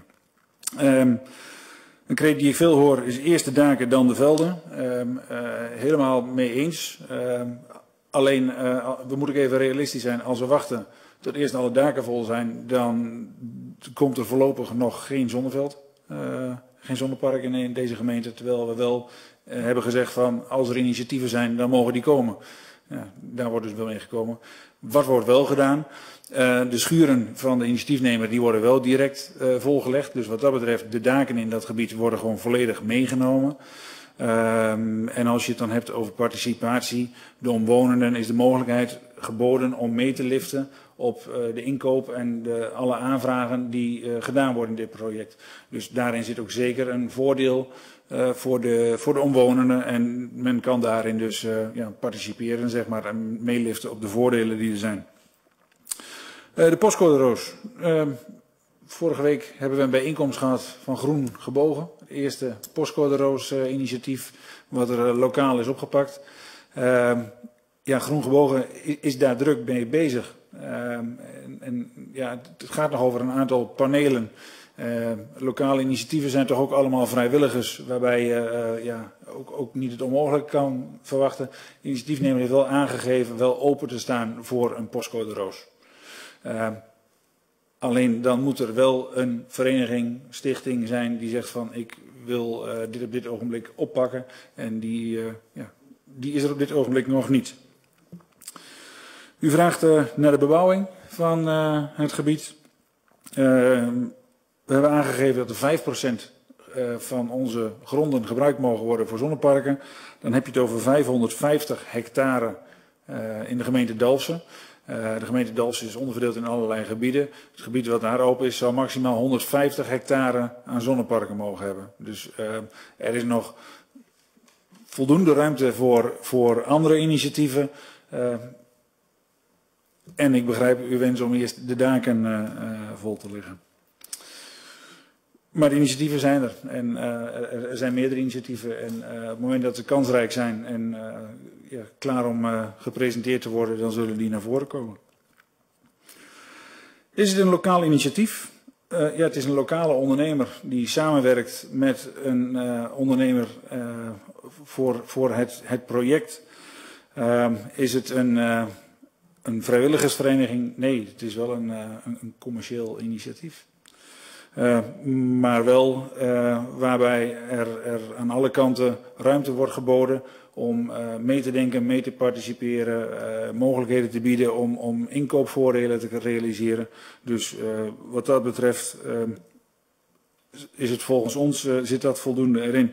Je kan ook niet zeggen dat dit soort zaken alleen maar door vrijwilligers of, of door, door lokale initiatieven kan worden opgepakt. Dus, dus de, de, deze ruimte is, moet er ook gewoon gegeven worden. En dat is ook goed, denk ik.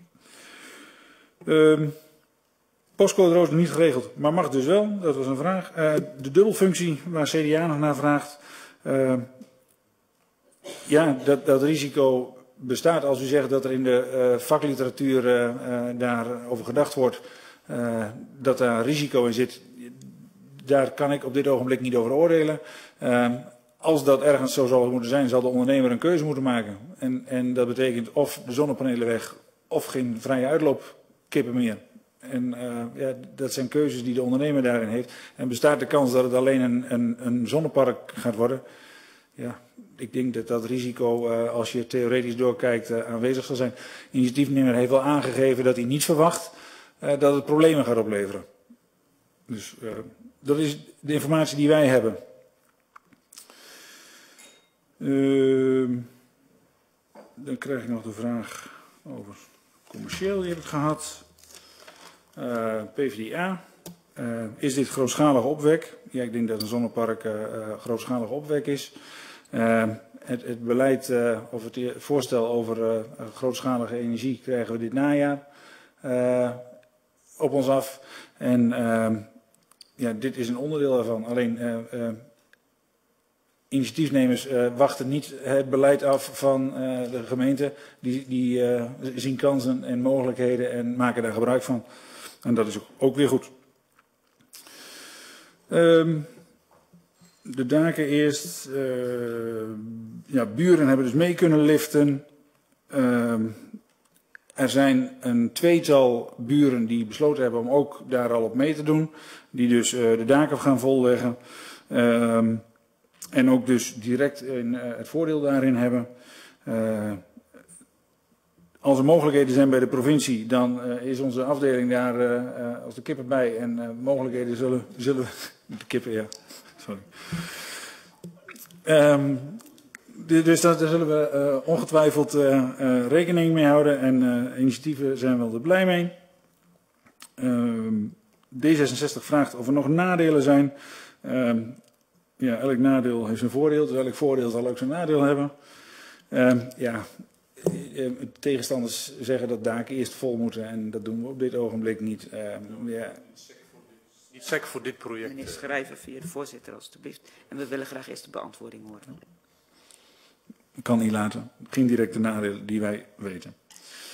Um, en er staat in een duur van 25 jaar. En dat zal uh, een aantal maanden erbij zijn. Dus dat is uh, de afschrijvingstermijn voor uh, zonneparken zoals deze. En volgens mij heb ik zo een heleboel vragen gehad. En antwoord ik er graag. Ik zie dat u nog niet alles heeft beantwoord. Meneer Ruitberg. Nee, uh, mijn tweede vraag was uh, waarom niet alle buren zijn meegenomen in de planvorming. Um, naar mijn weten is er een, een lijst uh, met handtekeningen daarin en zijn alle direct omwonende buren geïnformeerd. dat is de informatie die ik heb. Um, en de mogelijkheid is geboden om mee te liften waar mogelijk. En de, de reacties daarop uh, zijn ook verwerkt uh, voor zoveel mogelijk in, in het plan. Dus uh, er is wat geschoven met erfbeplanting, allerlei zaken. Dus als ik er een mis... ja, in de stukken miste ik er dus twee. die heb ik dus ook even benaderd. En die zijn dus inderdaad niet benaderd door de initiatiefnemer. Dus dat vond ik dan een beetje jammer. nog een vraag of een opmerking. U, u maakt zelf de opmerking van ja, er ligt nu een zonneveld voor ons. Uh, als de daken niet voorkomen, dan gaan we verder met de zonnevelden. Uh, maar als je zonnevelden aanlegt, dan demotiveer je juist mensen die wel een dak voor willen leggen. Want dan zeggen ze van nou, als er dan toch een zonneveld komt, laat het dak van mij maar wezen. Want uh, het gebeurt op, op de grond. En dat is dus juist iets wat wij dus willen voorkomen.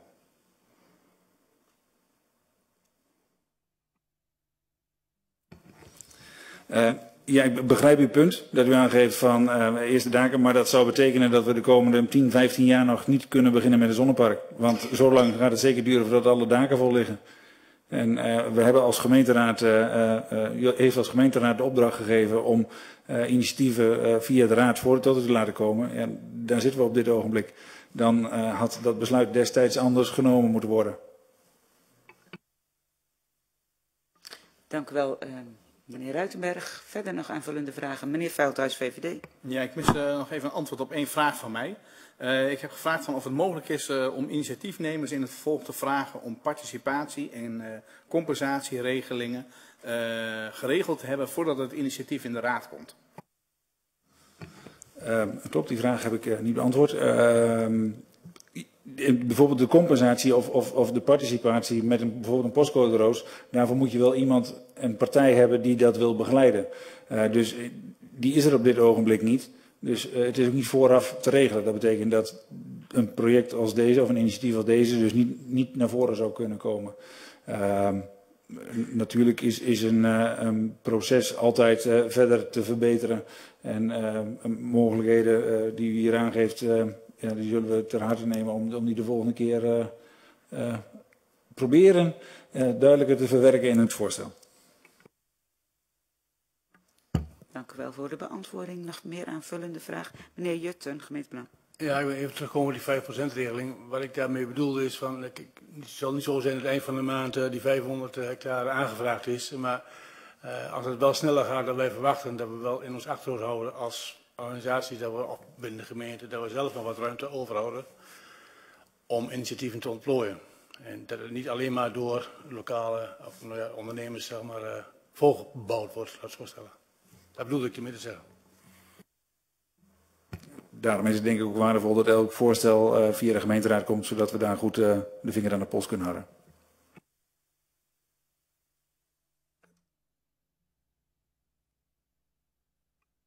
Meneer Schrijver, ja, ik hoorde dat u nog wat wilde zeggen, maar ik zie het niet.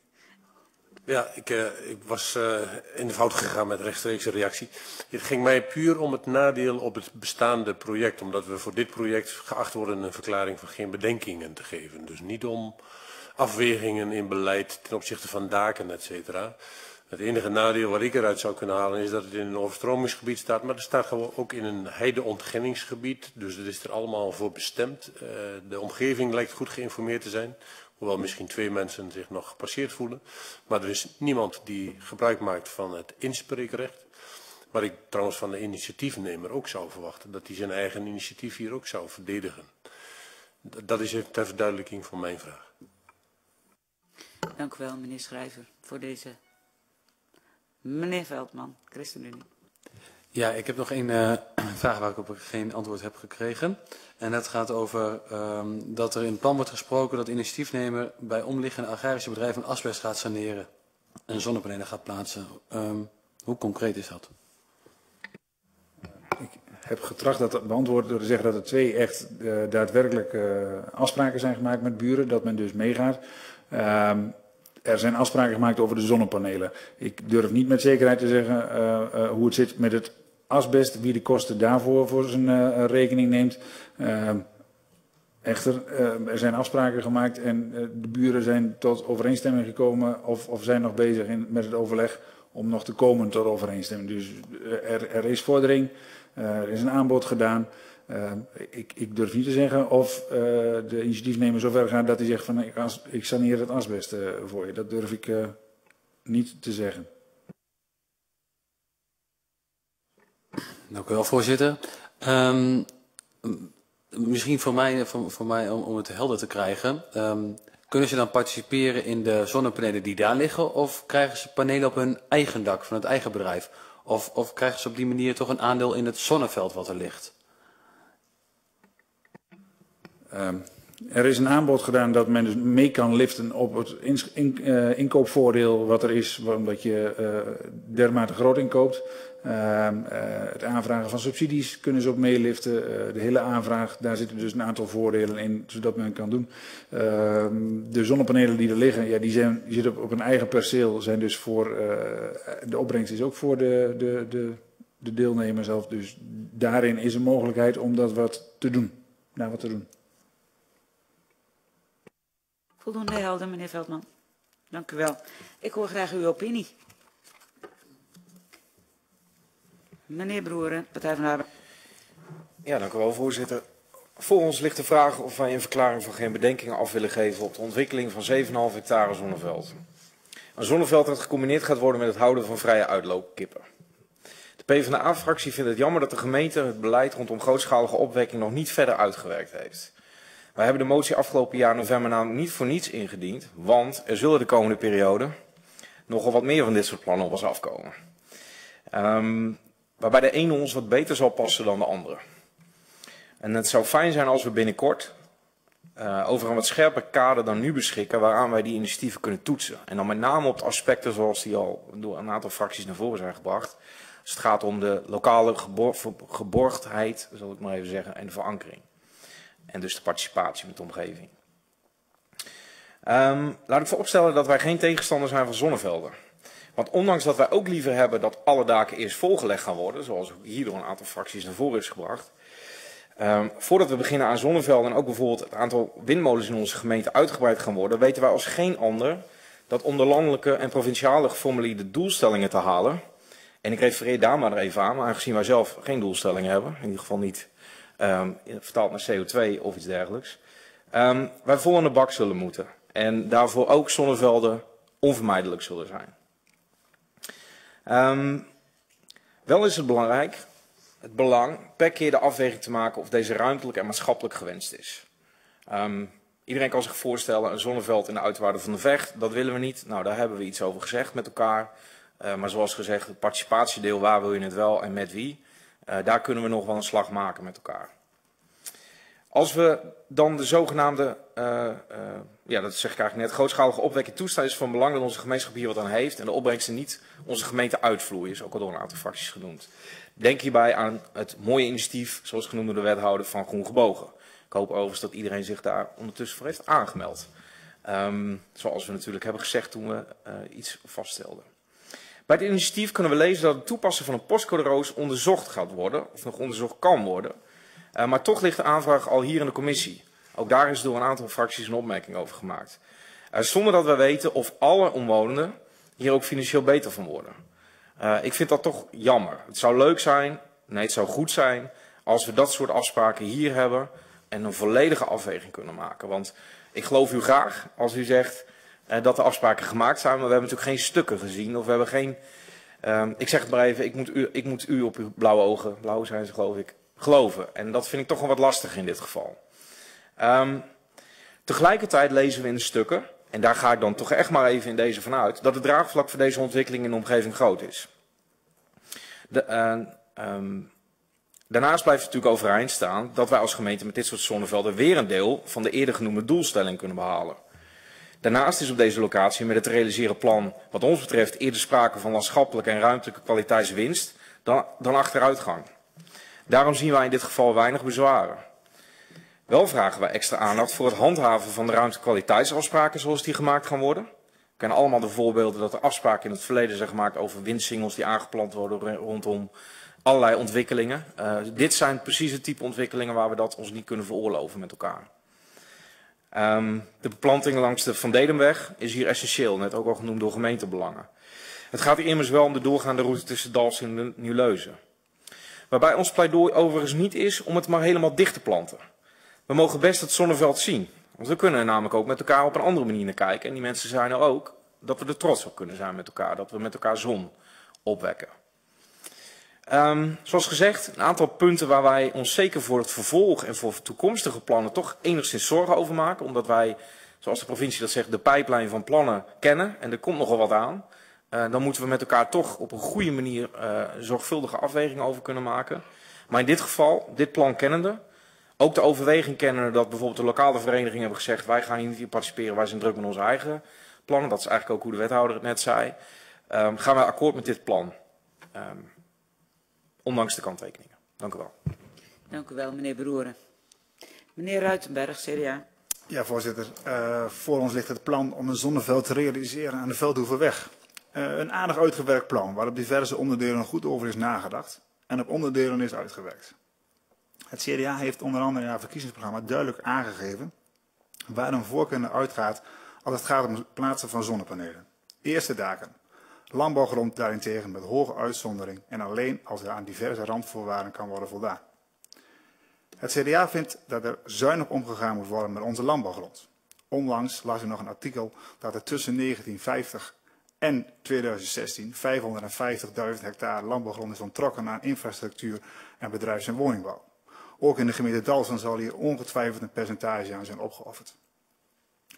Maar we staan ook voor een duurzame samenleving. En vooral nu de gaskraan in Nederland op termijn helemaal dicht gaat, zullen wij meer dan ooit naar andere energiebronnen moeten zoeken. Terug naar het zonnepark aan de Veldhoevenweg. Zoals aangegeven een aardig uitgewerkt plan en waar een aantal details al goed is onderbouwd. De dubbelfunctie, zon- en uitlookkip, ziet er zeer positief uit. Met name ook dat de kippen enigszins beschermd zijn tegen roofvogels is positief. Maar het initiatief verdient op een aantal voorwaarden wat het CDA betreft wel de nodige aandacht. De betrokkenheid van de gehele buurt. de compensatie in de buurt, financieel of energie. En nogmaals de uitloopkip onder de panelen. Is dit toegestaan? Zo ja, mooi. Maar als er wordt gehandhaafd, zoals, in, zoals omschreven wordt op diverse websites van controlerende instanties, zoals Verin, dat bij uitloop enige begroeiing aanwezig moet zijn, baat ons dan toch wel enige zorgen. Graag lezen wij deze aandachtspunten onderbouwd terug in deze stukken. Al met al nog een heel aantal vragen die eerst in kaart moeten worden gebracht, wat het CDA betreft, voordat wij hier concreet een oordeel over willen geven. Bedankt, voorzitter. Dank u wel, meneer Ruitenberg. Meneer Schrijver, D66. Ja, op mijn vraag of er ook een nadeel aan dit plan zit, uh, heb ik begrepen dat dat er eigenlijk niet aan zit. Uh, ik heb hem ook niet kunnen vinden. Dus de win-win-win situatie, zo beoordeel ik dit plan. Het ziet er heel gedetailleerd uit. De zorgen van het CDA richten zich vooral op het agrarisch gebruik. Maar wordt ons hier gevraagd om een verklaring van geen bedenkingen te geven met betrekking tot het toestaan van een zonnepark. En het wordt dan definitief als hier tegen geen zienswijze wordt ingediend. Dus er is ook nog een kans dat er toch vanuit de buurt bezwaren komen. Op basis van de voorliggende informatie heeft de D66 het oordeel dat dit alleen maar positief is. Dank u wel, meneer Schrijver. Meneer Veldhuis, was u al zover? Nee, hoor ik. Meneer Veldman, ChristenUnie. Dank u wel, voorzitter. De ChristenUnie hecht waarde aan participatie, duurzaamheid en milieu. En om zo min mogelijk schade toe te brengen aan ons milieu en met name de biodiversiteit te waarborgen, is de ChristenUnie voorstander van het plaatsen van zonnepanelen op daken. Voordat we onze natuur hiervoor gaan opofferen. Maar met uh, alleen de daken zijn we er niet. Um, zonnevelden zullen ook no nodig moeten zijn. En als we op zonnevelden gaan aanleggen, is het van belang dat er een goede ruimtelijke inpassing is. Dat lijkt hier wel het geval te zijn. Dat de groene afscheiding direct wordt aangelegd, is voor ons ook wel een belangrijke, nou, zal voor ons ook een belangrijk item zijn. Um, en dat de gronden ook daadwerkelijk worden gebruikt conform het bestemmingsplan. Dat is voor ons ook wel een uh, belangrijk item, ook voor, het, voor, uh, voor andere initiatieven die op deze manier gaan, uh, gaan plaatsvinden. Um, toch neemt de ChristenUnie uh, de overwegingen mee in de fractie en komt er tijdens de raadsvergadering op terug. Dank u wel, meneer Veldman. En meneer Jutten, gemeentebelangen. Ja, ik heb alweer een hoop uh, redenen gehoord om niet direct een oordeel uh, te vellen. Um, alhoewel dit initiatief lijkt wel te passen binnen de kaders die door de vorige raad zijn gesteld. Uh. Um, wij nemen het ook even nog mee naar de fractie om het nog even te overleggen met elkaar en we komen er volgende week op terug. Ja. Dank u wel, meneer Jutten. Meneer Veldhuis, VVD. Uh, ja, dank u voorzitter. Uh, ja, de VVD staat uh, in het beginsel zeker niet afwijzend tegenover zonneparken. Voorwaarde hiervoor is wel dat uh, de winsten niet verdwijnen naar bedrijven buiten de gemeente Dalfsen. En dat omwonenden op een of andere manier gecompenseerd gaan worden. Dit is ook de reden dat we dit soort voorstellen door ons als raad gaan be beoordelen. Als ik kijk naar hoe de situatie hier is verlopen, de participatie met de omgeving, die lijkt goed verlopen te zijn. Het project draagt bij aan onze klimaatdoelstellingen. Dus wij, zien zeker wel dat wij waarschijnlijk hier ook wel in mee zullen gaan met dit voorstel. We geven het college alleen wel even mee om bij de volgende initiatieven vooraf compensatieregelingen en participatie vooraf zoveel mogelijk te regelen. Uh, en nog even ten aanzien van het punt wat CDA inbrengt, uh, opgeven van landbouwgrond. Dat is misschien ook iets om mee te nemen, uh, om het college mee te geven. Om bij de aanvraag van een zonnepark goed te kijken of we geen goede landbouwgrond opgeven voor dit soort initiatieven. Want ik begrijp dat er landbouwgrond is die, die ja, minder goed is, zeg maar. Hè, of die eigenlijk afgeschreven is. Ik weet niet hoe ik het precies moet benoemen. Maar in ieder geval waar, ja, niet meer zoveel op groeit. Uh, dat, dat, dat zijn zeg maar uh, betere gronden zeg maar, voor dit soort dingen dan, uh, dan gronden waar je die nog zou kunnen gebruiken in, voor, de landbouw. Dus misschien iets om mee te nemen bij toekomstige initiatieven. Ja, en wij sluiten ons aan bij de opmerking die PvdA ook gemaakt heeft om uitvoering te geven naar een motie die in november is ingediend. En dat zien we ook graag tegemoet. En ik begrijp dat u akkoord gaat met het voorstel? Of neemt u het mee? Ja, uh, ik neem het nog even voor de zekerheid mee naar de fractie, maar de kans is uh, heel wel aanwezig dat wij voor zullen stemmen. ja, 50% kan het uh, uit. Het is een ja of het is een nee. Um, heb ik alle fracties nu gehoord? Ja. Um, en daarmee concludeer ik dat we nog geen uh, akkoordstuk hebben en dat er nog een aantal vragen zijn gesteld die duidelijk zouden moeten worden voordat de raad uh, daarmee akkoord gaat. Um, de, het is ook mogelijk om via een amendement uh, voorwaarden te binden, verbinden aan de verklaring van geen bedenkingen. En um, misschien dat u daarmee nog wat uh, zaken um, in goede banen zou kunnen leiden, voor zover dat voor u van belang is. Uh, mits goed gemotiveerd uiteraard. Um, maar dat kan de Griffie uiteraard uh, u allen adviseren. Um, het is nog geen akkoordstuk en daarmee uh, concludeer ik dat hij wel naar de raadsvergadering gaat als bespreekstuk. En sluit ik nu om bijna half tien, uh, schors ik de vergadering. Sluit dit agendapunt voor een kop koffie. Tien minuutjes. Snelle koffie. Vergadering hervatten. Fijn dat u er bijna allemaal weer bent. Mevrouw Ramerman heeft de vergadering verlaten. Verder zijn we weer. Meneer Veldman zal zich zo melden. Um, agenda punt 6, programmaplan implementatie omgevingswet. Mevrouw Gils is aangeschoven, van harte welkom als ambtelijke ondersteuning. Um, januari 2021, dan wordt de omgevingswet ingevoerd. Klinkt nog heel ver weg. En dan in voorbereiding daarop moeten alle Nederlandse gemeenten bezig met de implementatie van die wetgeving. En we moeten gaan werken in de geest van de omgevingswet.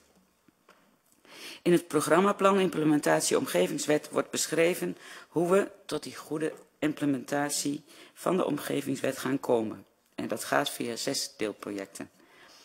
Er wordt aan de Raad voorgesteld om dit programmaplan vast te stellen en om de kosten die hiermee gemoeid zijn mee te nemen bij de behandeling van de perspectiefnota in juni.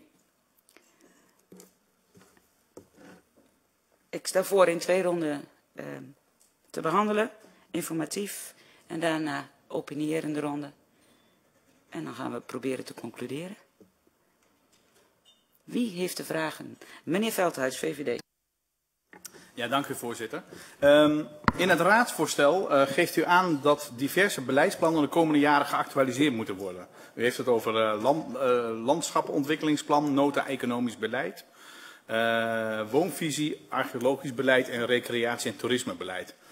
En dat dit een besparing gaat opleveren. En onze vraag is van, uh, betekent dit dat we deze plannen niet meer apart gaan behandelen en dat deze uh, vanaf nu dus in de omgevingsvisie terug gaan komen? Zo lees ik het namelijk, dat het vanaf nu uh, niet meer gaat gebeuren.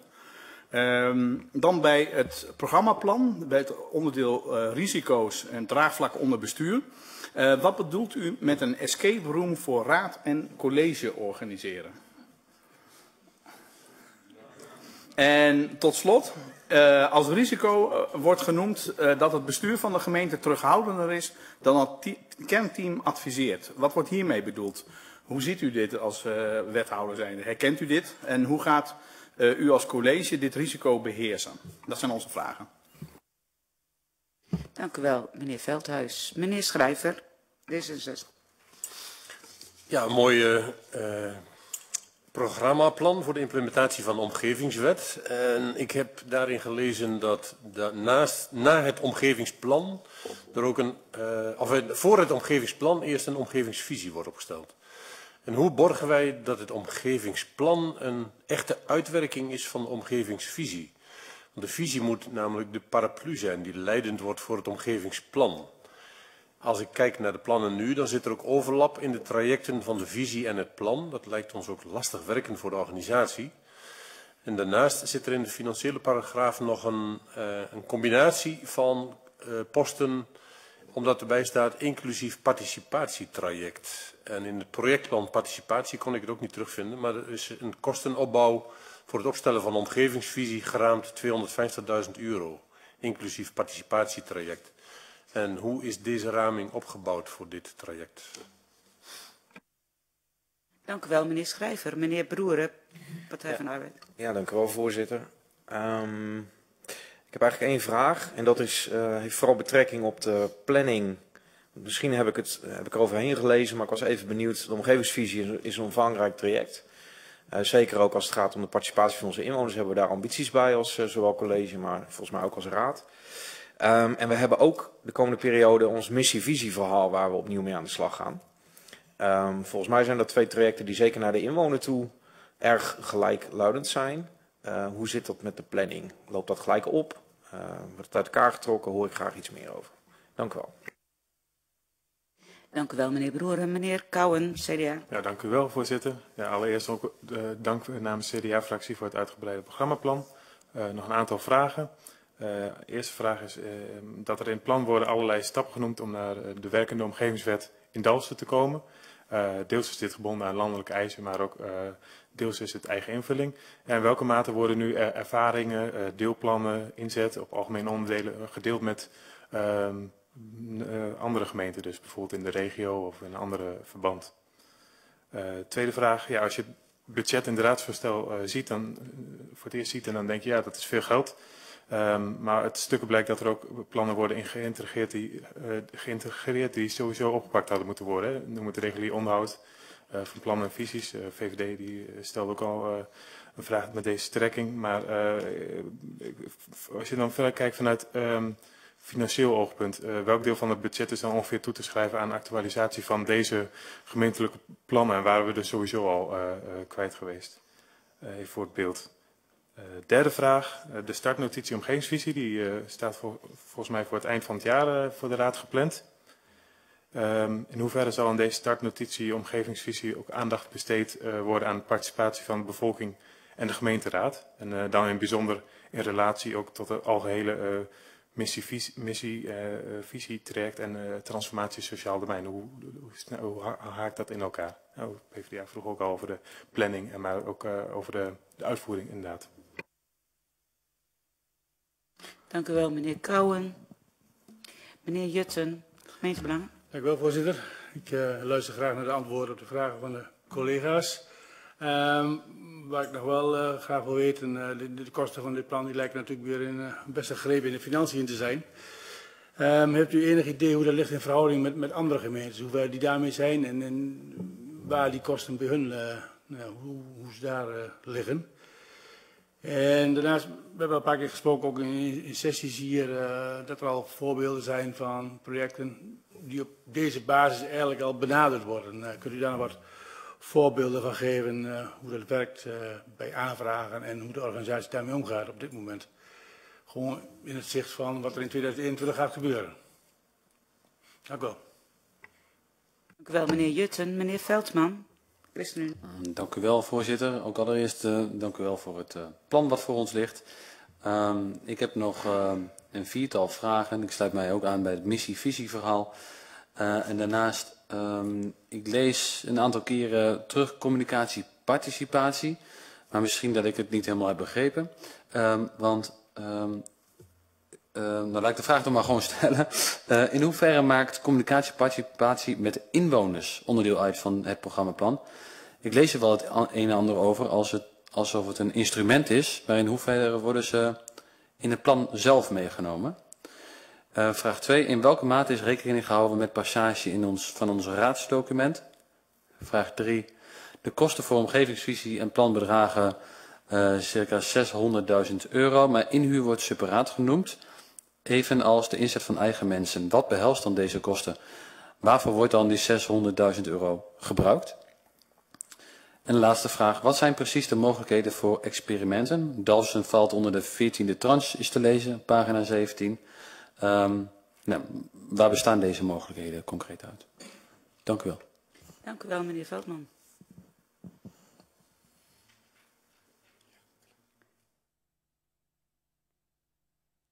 Meneer Schuurman is nog even kort aan het overleggen en de vraag aan het verdelen.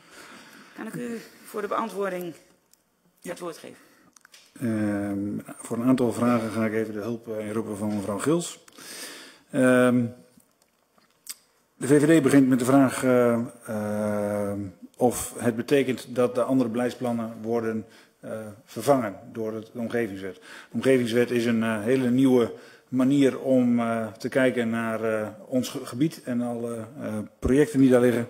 En het klopt, alle bestaande beleidsplannen worden opgenomen in de omgevingswet en zullen dus komen te vervallen in de komende periode. dus dit levert een besparing op. net even ingefluisterd en wij hebben in gedachten dat de besparing rond 150.000 euro zal liggen daar op dat gebied. Uh, de vraag over escape room. Met de, fout, met de, de kans dat ik een, een fout maak, uh, geef ik die even door aan mevrouw Gils. En um, ik wil even aangeven dat we als college en ook als raad hebben gezegd dat we op het gebied van omgevingswet geen koploper willen zijn, maar dat we een goede middenmotor willen zijn, waarbij we leren van ervaringen die er elders in het land worden opgedaan, zodat we op een goede manier dit kunnen implementeren in Dalsen en dat we geen uh, uh, builen vallen. D66, ehm, het betreft hier het proces wat wordt voorgesteld en de middelen die daarvoor ter beschikking moeten worden gesteld. En ja, bij de missie en visie is de raad aan zet. Uh, in het stuk valt ook te lezen dat het wel zo is als de omgevingswet één keer is geïmplementeerd, dat de rol van de Raad daarin wel wat zal veranderen en meer naar een adviesgevende uh, rol zal gaan. Uh, dus dat, dat zal uh, ook van de Raad een en ander een veranderende rol betekenen. Maar in de aanloop daar naartoe, de missie, de visie, daarbij wordt bij alle belangrijke stappen, ja, de Raad kan daarin dus de kaders bepalen. En de inwoners van onze gemeente zal zeker en alle stakeholders zullen we vragen om input om te komen tot een gedragen missie en een visie. Anders zou het ook niet uh, werken natuurlijk.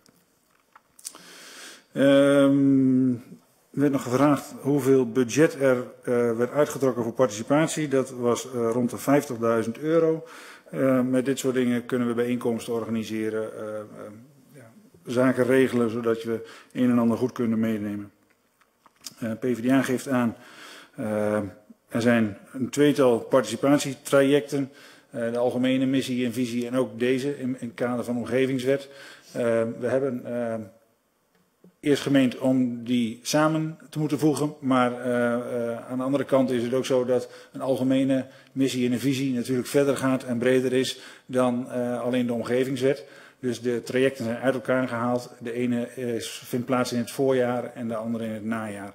Uh, begrijp je dat aan de ene kant een beetje het risico lopen door uh, dat we mensen uh, participatie moe of enquête moe of dat soort zaken maken. Aan de andere kant, het is wel een heel belangrijk moment om je bijdrage te kunnen leveren aan de gemeente.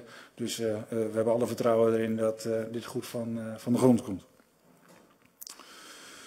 Um, CDA stelt de vraag van, uh, wordt er uh, informatie gedeeld? Jazeker. Uh, er zijn leerkringen, regionale overleggen. Dus aan alle kanten halen we informatie uit de regio en de regio haalt informatie bij ons. Dus daarin is echt een, een goede samenwerking. besparing heb ik gehad.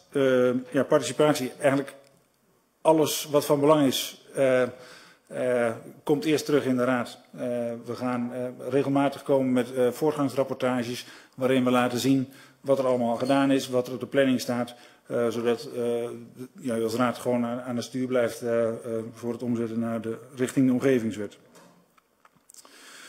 Ehm, gemeentebelangen. u stelt de vraag hoe zit het met omliggende gemeenten?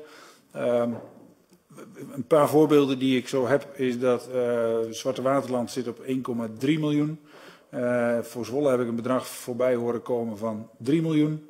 Uh, voor Dalsen zitten dus op, op, de genoemde 9 ton.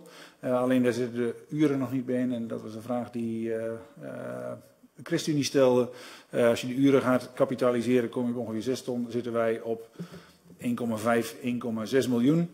Uh, daarvoor zijn ook uh, uh, landelijke regels, informatiecijfers, zeg maar. En die zitten voor de gemeente Dalsen op 57 euro per inwoner. Dan ga je het omrekenen, dan zitten we op 1,6 en we komen uit op 1,5 nog wat. Alleen de besparing die we dus realiseren door het bestaande beleidsplan te laten vervallen, hebben we daar nog niet meegerekend. Dus we zitten onder de norm ten opzichte van andere gemeenten. Um, voorbeelden. Is nog een vraag van gemeentebelangen uh, of die er zijn. Uh, ja, op, op dit ogenblik uh, uh, als, als Dalsen volgen we. we hebben wel een, een, aantal experimenten gedaan. Er zijn die droomsessies geweest. Waar, daarvoor is de raad destijds ook uitgenodigd. Ehm, maar het is allemaal ehm, voorbereidend. Er is dus nog niet echt iets echt geactualiseerd wat echt voldoet aan de omgevingswet. Omdat het gewoon nog een stap te ver gaat. Omdat we daarvoor te veel informatie missen om dat te kunnen doen. Dus hebben we helaas niets. Um, communicatie, participatie, ja, wordt absoluut, uh, komt dat hier terug in de raad en mag u dus wat over zeggen.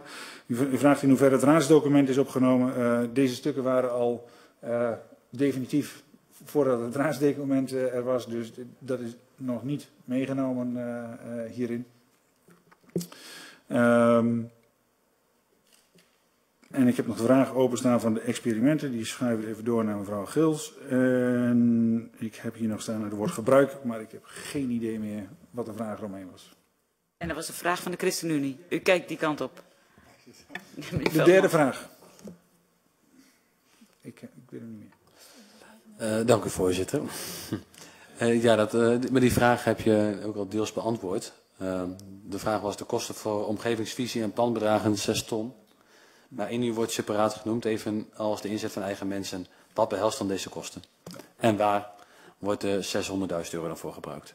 Uh, mij... Dus die laatste vraag die, uh, die staat dan nog wel open. Ja, uh, maar wat doen we met het geld? Uh, ja, projecten realiseren, mensen inhuren, ja, de, de, omgevingswet implementeren in, in de gemeente Dalsen. Mocht ik een vraag hebben overgeslagen, ik hoor het. Dan is nu uw kans. Ik kijk rond, ik zie niemand lampje branden, maar meneer Veldhuis.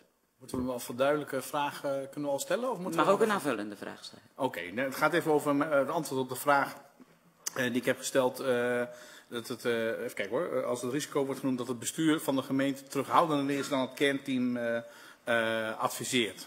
mijn vraag was van wat wordt hiermee bedoeld? En hoe, of u dit herkent. En u zegt van ja, we, willen, uh, geen, we hebben gesteld, we willen geen koploper en geen middenmotor zijn. Hoe moet ik deze, uh, dit, antwoord uh, interpreteren? Dat het kernteam meer koploper wil zijn dan het college wil zijn? Of probeer hem even te, te, plaatsen. Ik denk dat we gewoon een, een koppel heel enthousiaste ambtenaren hebben die graag heel snel en heel veel willen. en dat is ook niet altijd mogelijk in de praktijk. Dus daar kan het wel eens botsen. Daarmee antwoord op uw vraag, meneer Veldhuis. Ik heb voor mevrouw Gils nog een paar openstaande vragen. Ja, wat is een escape room, was de, de vraag. Uh, een escape room omgevingswet hebben wij uh, met de ambtelijke organisatie al gespeeld. Het, is, het, is, echt een escape room waarin je dus van alles leert over de omgevingswet. Het is leuk om wat meer beter een beeld te krijgen van wat de omgevingswet nou precies behelst. Zeker voor nieuwe raadsleden zou ik dat willen aanbevelen. Um, en daarnaast was er nog een vraag over wat zijn de mogelijkheden met het experimenteren. Um, we hebben de mogelijkheden gekregen om te experimenteren met bestemmingsplannen voor brede rijkwijde. Um, het gaat erom dat we bepaalde uh, regelgeving alvast kunnen uh, implementeren in de bestemmingsplannen. En daar dus mee kunnen gaan oefenen, vooruitlopend op uh, het opstellen van het omgevingsplan. En daarnaast kijken we ook naar experimenten waarbij we al gaan werken in de geest van de omgevingswet. En dus meer van hoe, uh, hoe, nou ja, hoe gaat het met ons eigen handelen, hoe doen wij dingen en hoe kunnen we dat beter doen volgens de omgevingswet. Voldoende antwoord op uw vragen. Dan hoor ik graag uw opinie. Dan wel. Beroeren Partij van de Arbeid. Ja, dank u wel voorzitter. Um, de implementatie van de omgevingswet heeft een behoorlijke impact op de gemeentelijke organisatie. Niet alleen moeten we nieuwe instrumenten, zoals de omgevingsvisie en het omgevingsplan opstellen, we moeten er ook voor zorgen dat onze organisatie klaar is voor het werken in de geest van de omgevingswet. Hierbij gaat het om het anders inrichten van processen, competenties van medewerkers, maar ook de primaire houding van de gemeente. Verbinden van opgaves waar mogelijk en het bieden van integrale oplossingen waar dit kan. Wij denken dat de gemeente in dit plan de juiste prioriteiten kiest. De gemeente zet stevig in op participatie en het weten wat er leeft in onze gemeenschap. Een prioriteit die wij als partij alleen maar kunnen onderschrijven. Veel gemeenten lijken zich volledig te verliezen in het digitale stelsel met forse budgetoverschrijdingen tot gevolg. De gemeente Dalsen kiest er op dit punt voor volgend te zijn op andere gemeenten. En wat ons betreft de juiste keuze. In het implementatieplan valt te lezen dat de gemeenteraad twee keer per jaar middels voortgangsrapportages geïnformeerd wordt. Uiteraard is dat zeer prettig, maar wij hopen wel dat we de komende periode zeer actief meegenomen worden. En een voorstel als een escape room en allerlei dat soort voorstellen lijkt mij zeer nuttig uh, als het om dit onderwerp gaat. Het is een zeer complex onderwerp. Uh, ik heb er zelf vakmatig mee te maken, dus dat geeft je misschien een heel klein voorsprongetje. Maar het is echt heel erg pittig. Uh, dus bij deze de oproep. Betrek ons bij het participatieve traject waar het kan.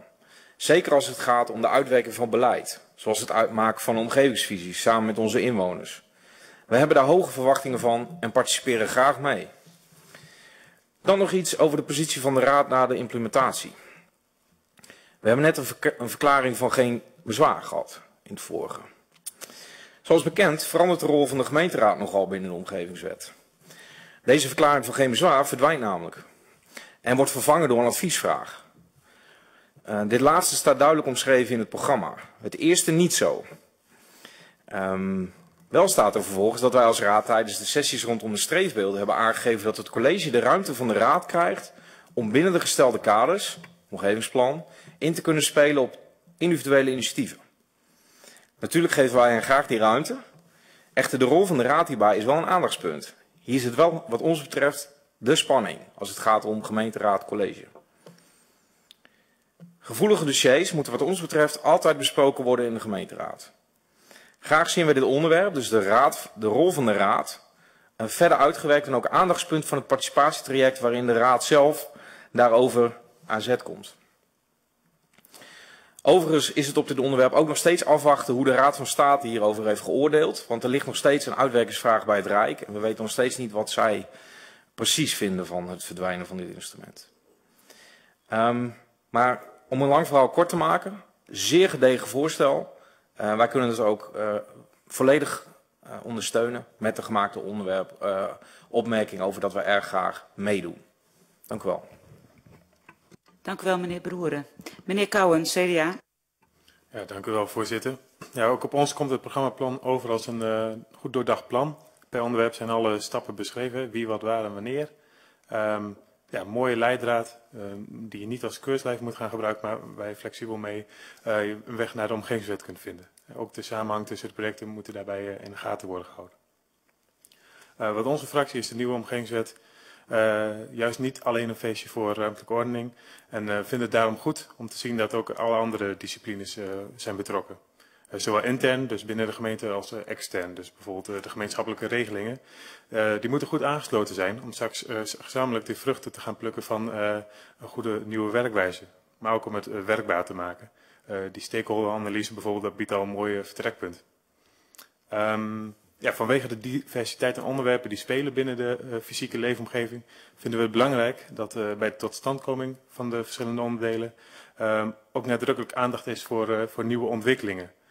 Dus binnen bijvoorbeeld het sociaal domein, maar ook op verkeer, vervoer, uh, gebied van energietransitie en lokale economie, probeer dat zoveel mogelijk te verbinden. Dus ook, um, ook al ga je die participatietrajecten van missie en visie en uh, omgevingsvisie dan los van elkaar uitvoeren, uh, zoek wel die verbinding op waar, waar, waar, die, waar de onderwerpen elkaar raken. En ook op gebied van transformatie sociaal domein. Dat juichen we alleen maar toe, omdat we geloven dat de fysieke leefomgeving ook op uh, dat soort aspecten gaat, ook op het gebied van gezondheid. Um, uit het hele verhaal blijkt eigenlijk uh, één ding uh, des te meer. We hebben al straks een heldere blik nodig, uh, een visie wat we willen met de fysieke leefomgeving. Um, hoe doen we het hier in Dalsen? Bij elke ontwikkeling, groot, klein, moeten we ons steeds gaan afvragen van, ja, past dit binnen ons verhaal? Nog meer dan we het nu doen. Pas daarna komen de regels wat ons betreft. Dit vraagt een hele andere benadering. Uh, uh, vind het als fractie daarom uh, belangrijk dat uh, heel erg ingezet wordt op de cultuurverandering. Het wordt in het stuk ook uh, goed naar voren gebracht, maar zet daar ook op, op in. Van ons als politiek, noem ik dan maar als eerste, maar ook van, van ambtenaren, initiatiefnemers en alle andere betrokkenen. Um, zoals de PvdA aangaf, goed om nadrukkelijk ook bij de rolverdeling stil te staan. Van wat is onze rol als, als raad in de toekomst. Ik denk inderdaad dat er wezenlijk uh, punt van aandacht zit. Uh, voorzitter, ik sluit uh, af met complimenten voor het uh, verduidelijke en uitgebreide programmaplan. Um, zoals gezegd worden we graag op de hoogte gehouden van de voortgang. En ja, eigenlijk zien we de, de ontwikkelingen positief tegemoet en houden het in de gaten. Succes. Dank u wel, meneer Kouwen. Meneer Schrijver, D66. Dit is uh, geen fietsknoppuntenroute. Ik heb nu nog geen passende vergelijking beschikbaar, maar disruptief, dat is het woord wat mij toepasselijk lijkt. Wel, wel is dit een prima programma opzet. Het is een gigantisch traject waar een hoog prijskaartje aan hangt. En een heuse paradigmawisseling voor raad, college, organisatie en zelfs voor vergunningaanvragers. We hopen dat het lukt om de vergunningaanvragers in de toekomst aangenaam te verrassen. Op dit moment zijn er in onze ogen weinig politieke keuzes. De vorige raad heeft het ambitieniveau vastgesteld waar dit programmaplan de uitwerking van is. Dalfsen is bij de implementatie van de omgevingswet bewust geen koploper en toont daarom ook beperkte ambitie. Op basis van dit ambitieniveau is dit programmaplan een logische planning waar het wat ons betreft wel zaak is dat we eerst een heldere gebiedsgerichte visie formuleren en op basis daarvan een omgevingsplan uitwerken. Nu lopen de beide trajecten deels parallel, maar de wethouder gaat ongetwijfeld borgen, zoals ik hem net hoorde, dat beide trajecten ook in elkaar grijpen. Het inrichten van het participatietraject dat wordt in uh, het vierde kwartaal van 2018 verwacht. Tezamen met een startnotitie omgevingsvisie het echte moment voor D66 om stelling te nemen. En daarmee onderschrijft u het plan. Ja, akkoord met de opzet. Ik wil nog even over de kosten spreken in de fractie, want de heldere kostenopbouw, die kan ik er nog niet helemaal uithalen. Dan heeft u nog geen mening gegeven, begrijp ik uh, uh, goed. Wel op de inhoud, maar nog niet op het financiële stuk. Meneer Jutten, gemeentebelangen. Dank u wel, uh, voorzitter. Uh, de implementatie van deze wet en de weg naartoe heeft uh, erg veel voet in de aarde. Een plan wat hier voor ons ligt, wat dat is eigenlijk de fundering die stap voor stap moet worden opgebouwd, beoordeeld, aangepast, nog een keer weer beoordeeld en weer bij akkoord worden uitgevoerd. En dat is zowel voor de organisatie als voor de aanvragen straks en ook nu al een hele klus. Hoge ambities om de regelgeving te versoepelen, maar ook om onze leefomgeving binnen de te stellen kaders op peil te houden. Erg belangrijk. Omgevingsvisie en omgevingsplannen moeten we op elkaar afstemmen en daarbij daarbinnen de ruimte zoeken voor het ontwikkelen van plannen en initiatieven. Het proces daar naartoe met de juiste planning vergt veel energie van alle inwoners en onze organisatie in dit huis. En hierbij zal de participatie, en dat wordt al vaker genoemd, van allen en ook van ons als raad veel tijd en inspanning kosten. Door er nu en in de komende periode veel aandacht aan te geven, kunnen we daar in de toekomst sneller de vruchten van plukken. Voorzitter, het voorstel wat hier ligt is erg uitgebreid en verder veel leeswerk en studie. Respect voor en complimenten voor de organisatie en de opstellers van dit stuk. Dat was geen eenvoudige opgave. De verdering wordt bij dit plan gelegd voor het vervolg van dit proces en daar kunnen we in meegaan. Graag worden we op de hoogte gehouden over de plussen en minnen van de voortgang van de planning en eventuele projecten. We gaan akkoord met het voorstel en wensen alle stakeholders, en daar zijn we zelf ook, heel veel succes in de komende tijd naar 2021 toe. Dank u wel. Dank u wel, meneer Jutten. Meneer Veldman, ChristenUnie. Dank u wel, voorzitter. De ChristenUnie spreekt haar waardering uit voor dit mooie plan en ziet graag een concretisering van de samenloop missie en visie en het traject omgevingsvisie, zoals al eerder genoemd. We vragen ook om een voorzichtige benadering. Niet alles in één keer loslaten, maar beheerstappen zetten. Hierbij is ook een passende interactie, participatie van groot belang. En ook de rol van de Raad uh, is, uh, is, belangrijk in dit proces. Um, en daarnaast denken we graag mee over eventuele experimentele mogelijkheden. Um, de ChristenUnie staat positief tegenover dit voorstel. Dank u wel. Dank u wel voor deze woorden. Um, meneer Veldhuis, VVD. Dank u voorzitter. Ja, ook uh, namens ons uh, dank voor uh, het programmaplan. Het ziet er goed uit. in de aanloop naar dit programmaplan waren wij nog wel wat bezorgd dat de visie en het plan achter de andere onderdelen van, het, van de omgevingswet gingen komen toen we bezig waren met de prioritering. Uh, voor de verschillende onderdelen van het programmaplan. Voorliggend plan laat ook, dan ook wel gelukkig zien dat deze bezorgdheid uh, wat voorbarig was. Uh, we zien een brede opzet en deze opzet laat zien dat de gemeentelijke organisatie goed doorheeft wat er op ze af gaat komen. Wel roepen we het college op om niet te terughoudend te zijn dit zal toch echt een enorme impact hebben op de organisatie. Het is wat ons betreft ook goed te zien dat het kernteam enthousiast is. Uh, we moeten ervoor zorgen dat we de, het kernteam niet gaan remmen. Laten we vooral snel aan de slag gaan. We zijn verder akkoord met het plan, ook met het budgetvoorstel. En we, ook wij worden natuurlijk graag op de hoogte gehouden van de voortgang. Dank u. Dank u wel, meneer Veldhuis. En ik concludeer dat alle fracties instemmen met het projectplan dat meneer Schrijver, dat meneer Schrijver het nog meenemen wil naar de fractie. Kunt u met een stemverklaring volgende vergadering uh, daarmee toe? Dank u wel. Dan concludeer ik dat het als akkoordstuk naar de raadsvergadering mag. Complimenten aan de organisatie. Melanie, complimenten worden naar jou verwezen. Dus dat is fijn. En um, uitgebreid plan. En ook uh, de raad komt nog een aantal keren aan zet. En een escape room, hoe spannend is het? Heel spannend, vind ik. En um, er zijn ook nog een aantal momenten waarin we meegenomen worden. En ik heb ook goed gehoord dat de raad meegenomen wil worden. Dus uh, vergeet uh, de raad niet wat dat aangaat. Heel veel succes bij de volgende stappen die gezet gaan worden. Um, en daarmee heb ik dit agendapunt 6. Uh, het programmaplan is voor akkoord naar de raad toe afgerond. Gaan we naar de kadernota afstand tot arbeidsmarktparticipatie.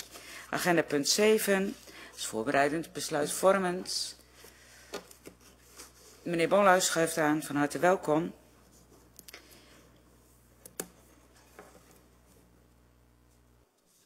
Op 1 januari 2015 is de participatiewet uh, van start gegaan. We zijn dus nu ruim drie jaar bezig. En daarmee is er aanleiding om opnieuw te kijken naar de doelen en ambities voor mensen die een afstand hebben tot die arbeidsmarkt. In de kadernota die nu voorligt, wordt de Raad voorgesteld om een aantal keuzes te maken die verder moeten worden uitgewerkt in een beleidsplan. Vandaag zijn er nog technische vragen door gemeentebelang en de VVD gesteld en die staan op het raadsinformatiesysteem onder het agendapunt. Ik stel voor te behandelen in twee ronden. We gaan eerst de vragen inventariseren en dan wil ik de wethouder vragen deze te beantwoorden. En daarna hoor ik graag uw opinie. Wie kan ik het woord geven voor de vragenronde? Mevrouw Eilets. Ja, dank u wel. Dank u wel, uh, voorzitter. Ja, uh, ik had één vraag opgeschreven en mogelijk uh, dat de wethouder bij de behandeling van het jaarverslag al wel een antwoord of iets van een antwoord in die richting heeft gegeven. Maar ik stel hem toch maar gewoon. Uh, in het raadsvoorstel lezen we, niet iedereen kan voldoende begeleiding of een reïntegratietraject krijgen in verband met beperkte personele capaciteit en financiële middelen. Een vraag aan het uh, college, hoe moeten we dat duiden? Ik wacht in eerste instantie het antwoord even af. Dank u wel, mevrouw Eilets. Meneer Veldhuis, VVD. Uh, dank u, voorzitter. Um, ik heb een vraag. Uh, u geeft aan dat er een grote afstand, uh, dat er een grote afstand is tussen de participatiewet doelgroep uh, en de vraag op de arbeidsmarkt. Welke maatregelen kan de gemeente treffen om deze afstand kleiner te maken? Is dat mogelijk? De tweede vraag die ik heb is, wat bedoelt u precies met alternatieven voor de uitstroom naar betaald werk? En wat betekenen deze alternatieven voor deze mensen? Ontslaat dat hen van sollicitatieplicht of zijn er andere zaken waar u daarbij uh, aan denkt? En tot slot nog even een, een vraag nog naar aanleiding van onze technische vragen. Um, waar ik eigenlijk naar op zoek ben, is van, ik, ik probeer een beeld te krijgen of er sprake is van een probleem. Want ik zie die aantallen uitkeringsmensen, zeg maar, zie ik in, in dat staatje zie ik, staan. Maar wat ik probeer inzichtelijk te krijgen is, is daar nou sprake het laatste jaar van een toename? Tussen 2016 en 2017. Wel in aantallen, maar vandaar dat ik ook even zat te kijken naar de procentuele toename. Tot zover mijn vragen. Dank u wel, meneer Veldhuis. Nog meer vragen? Meneer Schrijver, D66. Ja, op uh, pagina 7 van de kadernota, uh, daar staat uh, bij kaders voor beleid en uitvoering. Voor het beleid betekent dit, en dan staat er bij een aantal bullets, onder andere voldoende leer- en werkplekken in verschillende branches. Ik maak eruit op, de gemeente die kan dit natuurlijk nooit alleen oplossen. Het bedrijfsleven is daar ook bij nodig. En wat zou de gemeente kunnen doen om het bedrijfsleven daarin nog verder te activeren? Want uh, we hebben natuurlijk veel branches in de gemeente, maar waar zit het nu op vast? Dank u wel, meneer Schrijver. Meneer Kleine-Koerkamp, gemeentebelang. Ja, dank u, voorzitter. Eigenlijk een hele korte vraag. In dit stuk zijn de kaders heel kort omschreven. Ik neem aan, en daar hoor ik graag, of dat een vervolg krijgt in verdere omschrijving in het beleidstuk. Dank u wel, meneer Kleine-Koerkamp. Meneer Nijkamp, ChristenUnie. Dank u wel, voorzitter. Dank voor in ieder geval inzicht in de ontwikkelingen voor uh, de participatiewet, in het bijzonder in Dalfsen. Een paar vragen erbij. Uh, wat zijn de resultaten van de mensen die hier intern op uh, werkzaam zijn? We denken aan de netwerker bijvoorbeeld. Die komt in de nota niet voor, maar kunt u daar iets over zeggen? Um, in de nota wordt gesproken over 33 jongeren met een uitkering. heeft de gemeente ook in beeld hoeveel arbeidsgehandicapte jongeren er zijn zonder uitkering? En worden die ook meegenomen in het beleid? Dan iets over de registratie, uitstroom van inwoners die lange tijd een uitkering hebben. En dan staat er vervolgens genoteerd of dit verband houdt met betaald werk is niet bekend. En evenzo ook geen registratie met betrekking tot de nieuwkomers. Gaat het college iets doen aan de verbetering van deze registratie? Zodat we beter inzicht hebben en ook beter kunnen sturen. En hoe doen we het als gemeente zelf? Hoeveel mensen hebben we zelf met een arbeidshandicap? En dan bedoelen we even niet alleen Dalfse werkt in de groene sector, maar hoe zit het ook hier binnen in het kantoor? Dank u wel. Dank u wel, meneer Nijkamp. Meneer Massiers, CDA. Dank u wel, voorzitter. Nou, de eerste vraag die mevrouw Eilert stelde was ook de eerste vraag die wij wilden stellen, dus die kan ik al uh, achterwege laten. Uh, de heer Veldhuis stelde ook een vraag die wij hadden uh, uh, gesteld, normaal gesproken. Uh, meneer Schrijver die noemde iets vanaf pagina 7 en in het verlengde daarvan heb ik ook een vraag. In de kadernota wordt ook gesproken over de vergunninghouders. In de media is onlangs duidelijk het volgende naar voren gekomen over de integratie van vergunninghouders. In Nederland worden, wordt onvoldoende aangesluiten bij het opleidingsniveau van de vergunninghouder. Bijvoorbeeld vergunninghouders met universitaire opleidingen belanden in de operationele functies. Op zich is hier niets mis mee. Maar wellicht wordt de integratiekans vergroot als we aansluiten bij het opleidingsniveau van de vergunninghouder. Hoe gaat dit in Dalsen? En op welke manier kunnen hier uh, in de werkgevers uh, worden ondersteund? Of het voor de werkgevers makkelijker maken? En als laatste had ik toch nog de vraag om uh, de voorstellen die gedaan zijn door de, de concrete voorstellen van de participatieraad, dat die ook zeker uh, meegenomen worden in de uitwerking. Dit waren mijn vragen. Dank u wel, meneer Massier. Wilt u het lampje uitdoen? Dank u wel. Um, heb ik alle vragen voorbij gehad? Ja. Mag ik meneer Van Leeuwen vragen voor de beantwoording? Dank u voorzitter, ik ga mijn best doen. De eerste vraag van mevrouw Eilert. Niet iedereen kan een reïntegratietraject in verband met niet toereikend middelen en personeel. Zou ik toch graag hebben dat de heer Bolhuis daar zo even op, uh, op reageert. Uh, VVD, um, een grote afstand van de doelgroep en de vraag vanuit de markt. Um, ja, dat klopt. Um, we zien dat er met name veel vraag is naar toch wat um, hoger gekwalificeerd technisch personeel. En het aanbod is uh, laag geschoold um, niet technisch personeel. En dat, die twee die, die matchen dus niet. Uh, u vraagt ook, is er een alternatief uitstroom naar werk, zoals dat beschreven wordt? Ja, daar hebben we het ook wel, wel eens vaker over gehad. Er zijn mensen die een dusdanige arbeidsbeperking hebben dat betaald werk niet realistisch is. Dan is een, zijn er ook nog alternatieven. En ik heb al eens gezegd dat wij uh, in Dalfsen erachter zijn gekomen dat het overgrote merendeel van deze mensen, waar we het, het niet lukt om die naar betaald werk te krijgen, dat die op een of andere manier actief zijn in de samenleving. Het zij via vrijwilligerswerk of, of wat dan ook.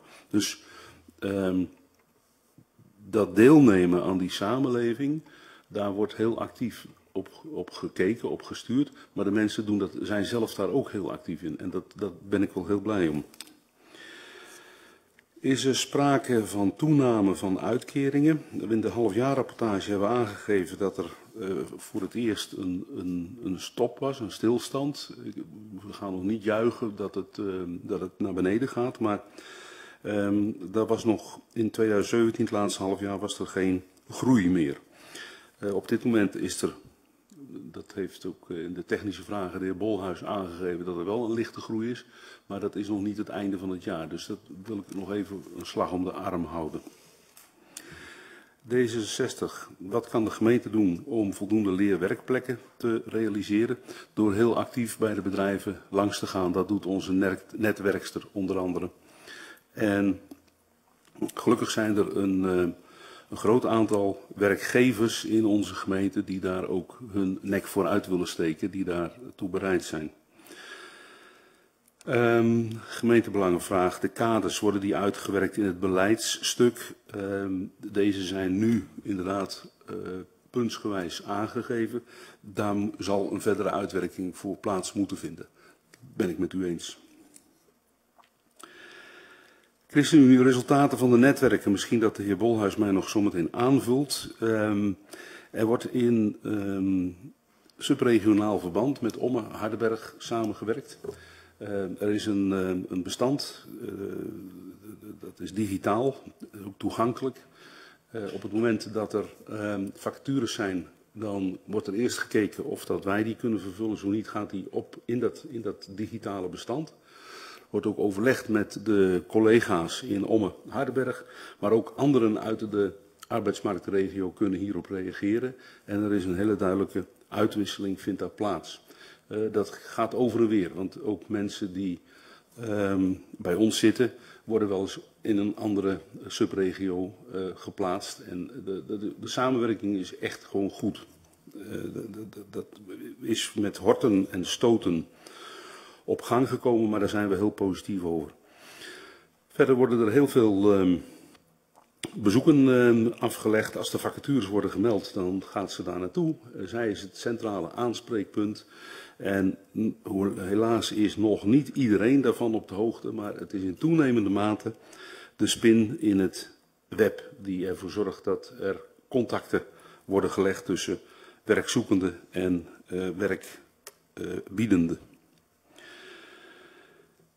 Um, de volgende vraag heb ik geen antwoord op. 33 jongeren met een uitkering. Hoeveel zonder uitkering? Misschien dat de heer Bolhuis daar iets over kan zeggen. En een vraag over registratie van nieuwkomers uh, evenzeer. Uh, hoe is het met de, in de eigen organisatie met het aantal arbeidsbeperkten? Um, als we gaan uitgaan van de situatie, de participatiewet, voldoen wij niet aan de uh, gestelde normen. Daarvoor hebben we ook gesprekken gehad met de directie. Die voelt zich daar ook voor een opgave gesteld. Uh, maar dat is wel als u dus de groep van uh, groen daarbuiten laat. Uh, er zijn wel mensen volop aanwezig uh, met een, een een of andere beperking. Maar die tellen niet mee, omdat die voor die tijd al in dienst waren. Dus daar is echt nog wel een, een taakstelling. De heer Massier. Um, vergunninghouders, onvoldoende aansluiting bij opleidingsniveau. En u heeft het dan over universitair gescholden. Um, er zijn er enkelen in de gemeente, maar het overgrote merendeel uh, is dat niet. Er is zelfs een hele grote groep die uh, in de eigen taal niet kan lezen en schrijven. En dan wordt het, daar wordt het niet makkelijker van om die um, te laten integreren in de samenleving. Laat staan de, de, de, de cursus uh, te laten behalen. Um,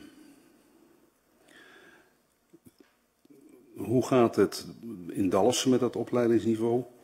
Um, kunnen werkgevers hierbij geholpen worden? Ik heb uh, vorig jaar ben ik op bezoek geweest bij uh, twee instituten waar de inburgeringscursus wordt gegeven, waar ook taallessen worden gegeven. Er waren um, op dat moment drie dames aanwezig die alle drie een universitaire scholing hadden in het land van herkomst. Uh, maar er is niet zo heel veel vraag in Nederland naar een vrouw die uh, islam gestudeerd heeft. En, en, dan wordt het lastig om daar een match voor te maken. Um, want haar grote um, wens was om lerares te worden op dat gebied. ja, ik geloof dat er één of twee scholen zijn in Nederland. En dan heb je het wel gehad. Maar, en die zitten niet in de gemeente Dalfsen. Dus je hebt af en toe te maken met, met echt grote verschillen tussen uh, het opleidingen die de mensen gevolgd hebben. En um, wat, wat we hier in Nederland uh, dan vragen. Even voor uw beeldvorming. Ik heb morgen of overmorgen nog weer een gesprek met iemand die een hogere opleiding heeft gevolgd. En daar wil ik gewoon zelf eens mee kennis maken om te kijken van wat zouden we kunnen als gemeente. Dus we, we doen echt ons best wel, uh, maar het is niet altijd even gemakkelijk. Voorzitter, dan zijn er nog een uh, paar zaken blijven liggen en misschien dat de heer Bolhuis daarop mag reageren van u. Dank u wel, meneer Van Leeuwen. Meneer Bolhuis, aan u het woord. Ja, de eerste vraag uh, kwam direct van de PvdA. De, dat gaat over de de capaciteit, zeg maar, in relatie tot ja, de vraag of iedereen het terecht kan krijgen. Uh, ja, dat is eigenlijk een heel praktisch, uh, praktisch punt. Als je, wij hebben gedacht, nou, wil je serieus uh, mensen reïntegratie te kunnen aanbieden, heb je een, dat noemen we dan zo'n soort caseload, hè, van één consulent of één werkbegeleider op ongeveer 50 à 70 mensen. Dan kun je nog de mensen kennen, kun je nog met ze spreken, kun je nog begeleiden. Nou, wij hebben op dit moment twee loopbaanbegeleiders. Dus als je het een beetje praktisch bekijkt, kun je ongeveer 150 à 170 mensen serieus bedienen. Uh, nou, aan de andere kant hebben wij uh, rond de 250 uitkeringen. Dat zijn ongeveer 330 mensen. Nou, dus dan kun je ongeveer wel nagaan dat je, dat je wat tekort komt. Uh, daarmee is niet gezegd dat je dus ook meer mensen moet hebben om iedereen iets te kunnen bieden. Want ja, dat is ook niet altijd even zinvol. Dus vandaar ook die vraag die hiervoor ligt. Van, ja, is het dan niet handiger om uh, met de middelen die we nu hebben, gewoon keuzes te maken. Um, dus dat is even een, een, het punt van, uh, ja, uh, maar dan heb je het alleen nog maar over de personele capaciteit. Als je daarnaast ook nog uh, financieel, hè, mensen kunnen via jobcoaching, loonkostensubsidies, scholing, nou dat, dat kost natuurlijk geld. als je iedereen iets wil bieden, kost dat meer dan dat we ook aan reïntegratie middelen krijgen. Dus dan zit je ook financieel aan je grenzen. Dus dat even over de vraag van, uh, van de PvdA. Dan was er nog een vraag uh, van de ChristenUnie over de jongeren zonder uitkering. Ja, het is een beetje ingewikkeld. Als je zonder uitkering, ja, dan staan ze in principe ook niet echt bij ons uh, op de radar. Uh, dan, dan, dan staan ze waarschijnlijk ook niet ingeschreven bij het UWV. Ehm, en ja, dan, dan raak je eigenlijk wel heel snel de samenhang ook met, met de jeugdwet want uh, geen uitkering, geen werk, uh, ja, dan vraag je natuurlijk wel af van uh, hoe, hoe kom je dan rond? Wat is je leefsituatie? Nou, dat, dat, is, dat is moeilijk te achterhalen en dat is eigenlijk ja, met name boven water te krijgen als het al kan via jeugdwerk, dat soort kanalen, eventueel opleiding, leerplicht van vroeger.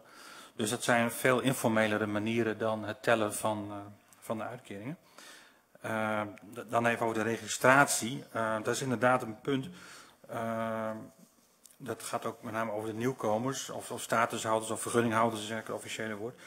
Ehm, de mensen staan gewoon geregistreerd als uitkeringsgerechtigden en hebben niet een aparte code van die, die zijn of die waren statushouders. Want op enig moment, na een aantal jaren, ja, ben je dan nog statushouder of niet. Ehm, sommige mensen worden na een aantal jaren ook uh, genaturaliseerd. Ja, dan is het dan helemaal uh, lastig om dan nog uh, de code erachter te hangen dat ze ooit als, als vergunninghouder zijn ingestroomd. Dus dat is, ehm, ja, ik weet ook niet eerlijk gezegd of het, of het qua, qua privacy en dergelijke ook, ook kan om mensen dus jarenlang te blijven registreren als ex-statushouder. Maar goed, aan de andere kant is het wel een, een substantieel onderdeel van ons bestand natuurlijk. Een beetje een schatting is zo rond de 40 procent. Nou ja, substantieel genoeg om daar wel natuurlijk heel specifiek naar te kijken, naar die doelgroep. Um, maar op dit moment, als je dus uh, exact wil weten, dat heb ik ook een van die uh, vragen beantwoord. Dan zou je uh, van A tot Z letterlijk gezien ze langs moeten lopen en kijken of ze dus ook ooit een, een vergunninghouder zijn geweest. Ehm, even kijken, ligt er nog een vraag? Um, van de VVD had misschien. Is, is er een probleem? Uh, ja, dat, ja, in die zin is een probleem. Um, het, het, het, aantal is natuurlijk de afgelopen jaren wel gestegen, stijgt nog steeds een klein beetje. We komen ook enigszins uh, wat tekort op het participatiebudget. Ja. Aan de andere kant, Dalsen is niet een, een gemeente die, die ja, sociaal-economisch heel, heel zwaar getroffen is. Dus in die zin zijn wij niet echt een, een probleemgemeente. Maar goed, het is ook een oordeel van de gemeenteraad zelf natuurlijk, of, of je het als probleem ervaart en wat je eraan wil doen natuurlijk. Dat is even... Volgens mij heeft u de vragen die openstaan beantwoord, ja, meneer Borhuis. Tenzij er raadsleden zijn, die, of raadscommissieleden, die aangeven onvoldoende antwoord te hebben gehad.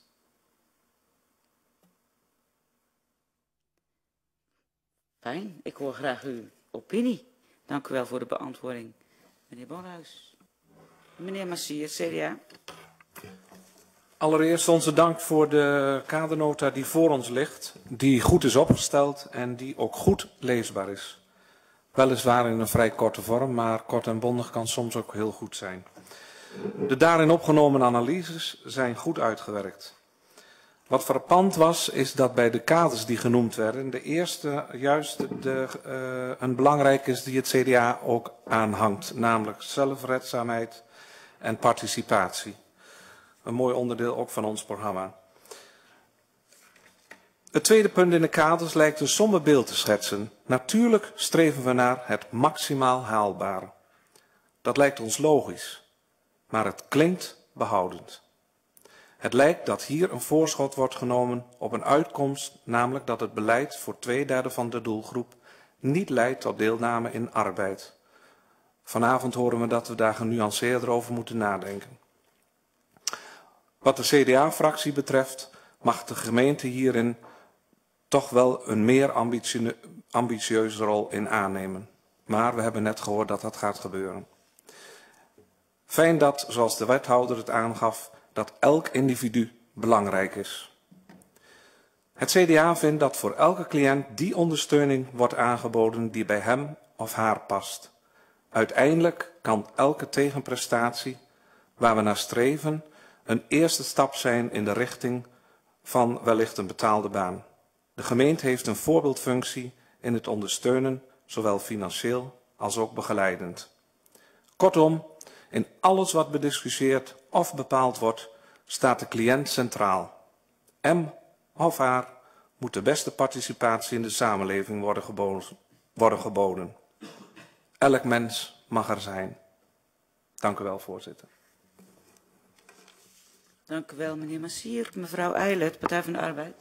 Ja, dank u wel, uh, voorzitter. Voor ons ligt de kadernota nota afstand tot de arbeidsmarktparticipatiewet. Een belangrijk onderwerp. Uh, de visie van de Partij van de Arbeid, daar wil ik mee beginnen, is dat werken de meest succesvolle manier van participeren is en een belangrijke voorwaarde om eenzaamheid en armoede te, uh, te voorkomen. We lazen het ook in de notitie overigens. Het streven is om mensen met een afstand tot de arbeidsmarkt zoveel mogelijk te laten deelnemen aan het reguliere arbeidsproces. Dat moet voorop staan. Aan de andere kant moeten we ook realistisch zijn en niet aan een dood paard willen trekken. Het is van alle tijden voor een deel uh, zal dat uh, wellicht te hoog gegrepen zijn. En daar waar een reguliere arbeidsplaats niet mogelijk is, of misschien tijdelijk of voorlopig nog niet mogelijk is, kan het goed zijn andere trajecten in te zetten. Zoals bijvoorbeeld vrijwilligerswerk of een vorm van dagbesteding. Echter wel vanuit een positieve grondhouding. Niet dwangmatig opleggen of als tegenprestatie, maar mensen stimuleren.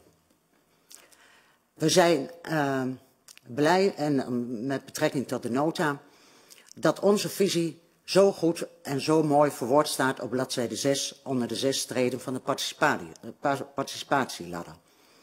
Onze complimenten. Onze fractie wil graag dat naast dat wij een veilige, groene en goedkope gemeente zijn, ook echte ambitie om Dalfsen koploper in Overijssel te maken op sociaal gebied. Daarmee kunnen we ons extra onderscheiden. Ook zijn we van mening dat een relatief rijke gemeente, we hebben het vanavond toch ook wel weer mogen waarnemen, ons niets in de weg staat om te werken onder het motto iedereen doet mee. Ook is het goed om ons te realiseren dat in het kader van het VN-verdrag voor gelijke, mens, gelijke rechten voor mensen met een beperking het recht op werk, scholing en zorg een vanzelfsprekendheid is. Kortom, naast onze sociale overwegingen is hier ook sprake van de verplichting om te komen tot een inclusieve samenleving. En dat ontstaat niet vanzelf. Een toegankelijke en inclusieve gemeente bereik je echt alleen in samenspraak met de mensen om wie het gaat. De participatieraad heeft dit punt ook benoemd in haar advies. Economisch gezien gaat het dus goed in ons land en ook in Dalfsen. Maar helaas profiteert niet iedereen hiervan in gelijke mate. De samenleving wordt steeds complexer, waardoor relatief gezien steeds meer inwoners aan de zijlijn komen te staan. De afstand tussen groepen inwoners wordt groter.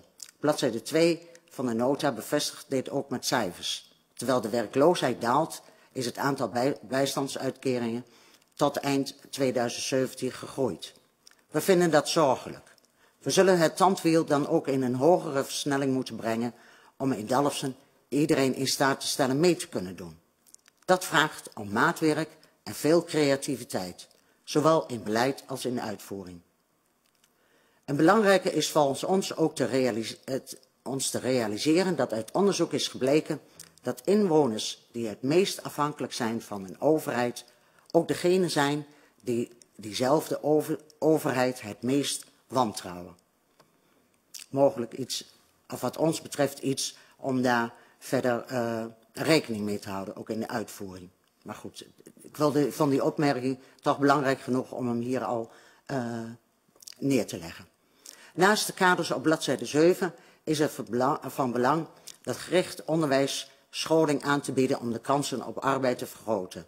Speciaal de aandacht vragen we voor het leren van uh, de taal voor de nieuwkomers. Um, een ander punt, in de nota schrijft u dat uh, soms andere problemen zijn zoals schulden of sociaal-psychische problemen die eerst opgelost moeten worden. En we willen oproepen, indien dat nodig is, hier toch echt professionele hulp in te schakelen. Er ontstaat dan immers voor de, uh, voor de persoon in kwestie ruimte om de stap naar werk te kunnen maken. We zijn het met u eens dat preventie ook bij dit onderwerp erg belangrijk is. Een tijdige uitwisseling van gegevens van het UWV maakt het mogelijk om dat zo vroeg, mogelijk in te zetten. Dus dat niet uh, mensen nog instromen. Voorkom dat. Bied inwoners met een uitkering ook zoveel mogelijk perspectief, daar waar dat mogelijk is. En als laatste, zoek zoveel mogelijk werk bij de inwoner met een afstand tot de arbeidsmarkt in plaats van andersom. Tot slot willen we even, in een notitie wordt geschreven dat we uh, naar aanleiding van het kabinetsbeleid met betrekking tot invoering van de loondispensatie en dat we daar in de loop van 2018 nadere uitwerkingsplannen, uh, dat die naar ons toekomen, wil ik daar toch alvast een voorschot op nemen. Want onze fractie maakt zich hier grote zorgen over. Het is een disqualificatie van mensen die een bijdrage leveren en van waarde zijn. Met deze maatregel demotiveer je de groep door ze financieel zo in de portemonnee te treffen. Werk moet ten alle tijden lonen, wat ons betreft. En we roepen het college dan ook op uit te zoeken wat we als gemeente op dit punt kunnen doen. Een aantal gemeenten zijn ons al voorgegaan of die zijn al aan het onderzoeken. Uh, laten we ons daarbij aansluiten, zou ons betoog zijn. Tot zover, uh, voorzitter. Dank u wel, mevrouw Eilert. Bent u akkoord met de kadernota zoals die nu voor ons ligt? Dat heb ik niet uit uw betoog begrepen. Nou, de, de kaders die genoemd zijn, uh, die kunnen we van uh, harte onderstrepen van uh, mijn betoog. Die opmerkingen die ik heb genoemd, die zijn toch aanvullend en daar wil ik toch nog wel graag een reactie op horen. Dank u wel, mevrouw Eilert. Meneer Schrijver, D66. Hartelijk dank voor deze goede, korte en bondige nota. Um, speciale aandacht zou ik nog willen vragen voor uh, de pagina's 6 en 7. Daarin uh, worden de zes treden van de participatieladder beschreven. En we moeten ons wel realiseren dat het eigenlijk nog maar de eerste of de tweede trede hooguit van de piramide van Maslow is. Dus het begint dan nog maar net, de ontwikkeling. En met name punt 4 op uh, pagina 7, het aantal jongeren tot 27 jaar met een participatiewetuitkering, de stijging daarvan en ook nog het feit dat die jongeren problematiek op meerdere terreinen kennen. Dat brengt mij ook bij het advies van de participatieraad, wat bij deze stukken zat. Een heel praktisch advies. Uh, zorg voor minder regelgeving en ontwikkel simpele regels. Durf maatwerk te leveren Zorg voor minder papier, romslomp en bureaucratie van werkgevers en betreffende burgers. Krijgen wij meerdere signalen dat er nog behoorlijk wat belemmeringen zijn. En zet nog meer en sneller in op taalkursussen en taalstages. Zet meer in op praktijkgerichte scholing en ondersteun werkgevers daarbij. Ik neem onmiddellijk aan dat daar waar de netwerker actief is, dit al wel gebeurt. Maar kennelijk ziet de participatieraad reden, participatieraad reden voor dit advies. En verder nogmaals een herhaling, een compliment voor de kadernota. En u stemt in, begrijp ik. Ja, dank u wel. Meneer Veldhuis, VVD. Uh, dank u voorzitter. Ja, dank uh, ook voor, namens ons voor deze heldere, uh, korte en bondige nota. Um, voor ons staat voorop dat we moeten streven naar het zoveel mogelijk deel laten nemen van deze groep mensen aan onze samenleving. En ze kans te bieden door te stromen naar betaald werk. Uh, gaat dat in alle gevallen lukken? Nee, dat niet. Maar we mogen wel de ambitie hebben om dit zoveel mogelijk te realiseren. Wat ons betreft is het prima om, om eerst de focus te hebben op andere zaken dan betaald werk. Taal, vrijwilligerswerk, etc. Maar wat ons betreft wel met de gedachte om uiteindelijk door te groeien naar betaald werk. Voor de VVD heeft de begeleiding van statushouders naar betaald werk speciale aandacht. De cijfers laten immers zien dat uh, na drie jaar 80% nog in de bijstand zit. En wij hebben als totale maatschappij de verantwoordelijkheid om deze mensen de mogelijkheid te geven om goed te integreren in onze samenleving. Dit gaat in eerste instantie om het leren van de taal. Daarna om deze groep mensen zoveel mogelijk te begeleiden naar praktijkgerichte scholing. Wij zijn voor het idee om de statushouders meteen onze taal te leren zo gauw ze zijn toegewezen aan onze gemeente. Dus als ze nog in het AZC zitten. Vervolgens kunnen we ons dan richten op het moment dat ze hier komen op intensieve taalkursussen. Bij de groep uh, met afstand tot de arbeidsmarkt is vaak ook sprake van laaggeletterdheid. We kunnen als gemeente deze problematiek uh, bestrijden door ook hier intensief be, uh, begeleiding op te zetten. Suggestie zou bijvoorbeeld kunnen zijn om, wat ik net de ambtenaar ook hoor zeggen, dat er nog kennis ontbreekt en dat ze vaak nog ineens kunnen lezen en schrijven en rekenen. Dus we zouden ze bijvoorbeeld ook uh, basisschoolvakken uh, kunnen uh, aanbieden. is zoiets mogelijk voor deze groep? voor de rest zijn wij akkoord met de kadernoten zoals die liggen en stemmen er ook zeker mee in. Dank u wel, meneer Veldhuis. Meneer Nijkamp, Christen. Dank u wel, voorzitter. Gelet op de grootte en het karakter van de doelgroep zijn we het met het college eens om op de participatiewet beleid te actualiseren. En aanvullend omdat zowel betrokkenen, werkzoekenden, als gemeente en werkgevers veel knelpunten ervaren. En het hier gaat om een hele diverse groep die steeds een eigen aanpak vraagt. En tenslotte de resultaten van het beleid tot nu toe lijken tegen te vallen. We vragen speciaal aandacht voor de groep arbeidsgehandicapte jongeren. Die onder de oude wetgeving onder de Wajong zouden vallen. En die nu vaak tussen wal en schip vallen. Ze komen veelal van school zonder startkwalificatie, hebben geen werk, geen dagbesteding en soms ook geen uitkering. Een toekomstplan voor al deze jongeren is meer dan urgent. Een tweede groep die we willen noemen zijn de nieuwkomers. Er is ook door het college toegezegd dat juist deze groep zo snel mogelijk aan werk geholpen zal gaan worden. En we zien graag hierover specifiekere informatie. Maar dat betekent dus wel dat de registratie op orde moet zijn. Dat blijkt nog niet op orde te zijn, dus daar ligt ook wel een uitdaging.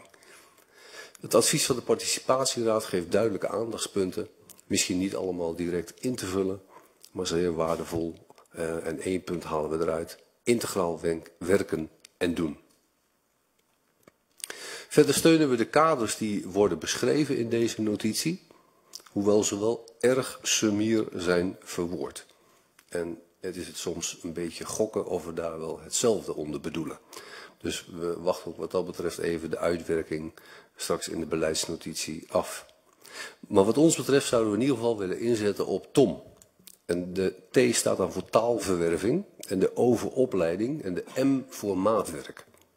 Dat zijn wat ons betreft ook drie echte speerpunten die eruit springen. Afronden nog twee opmerkingen, voorzitter. Communicatie. Er wordt gesproken over communicatie met belanghebbenden. Maar daar wordt deze groep zelf niet genoemd. Ga vooraf en ook blijvend met hen in gesprek. Betrek hen bij het beleid en leer van de ervaringen.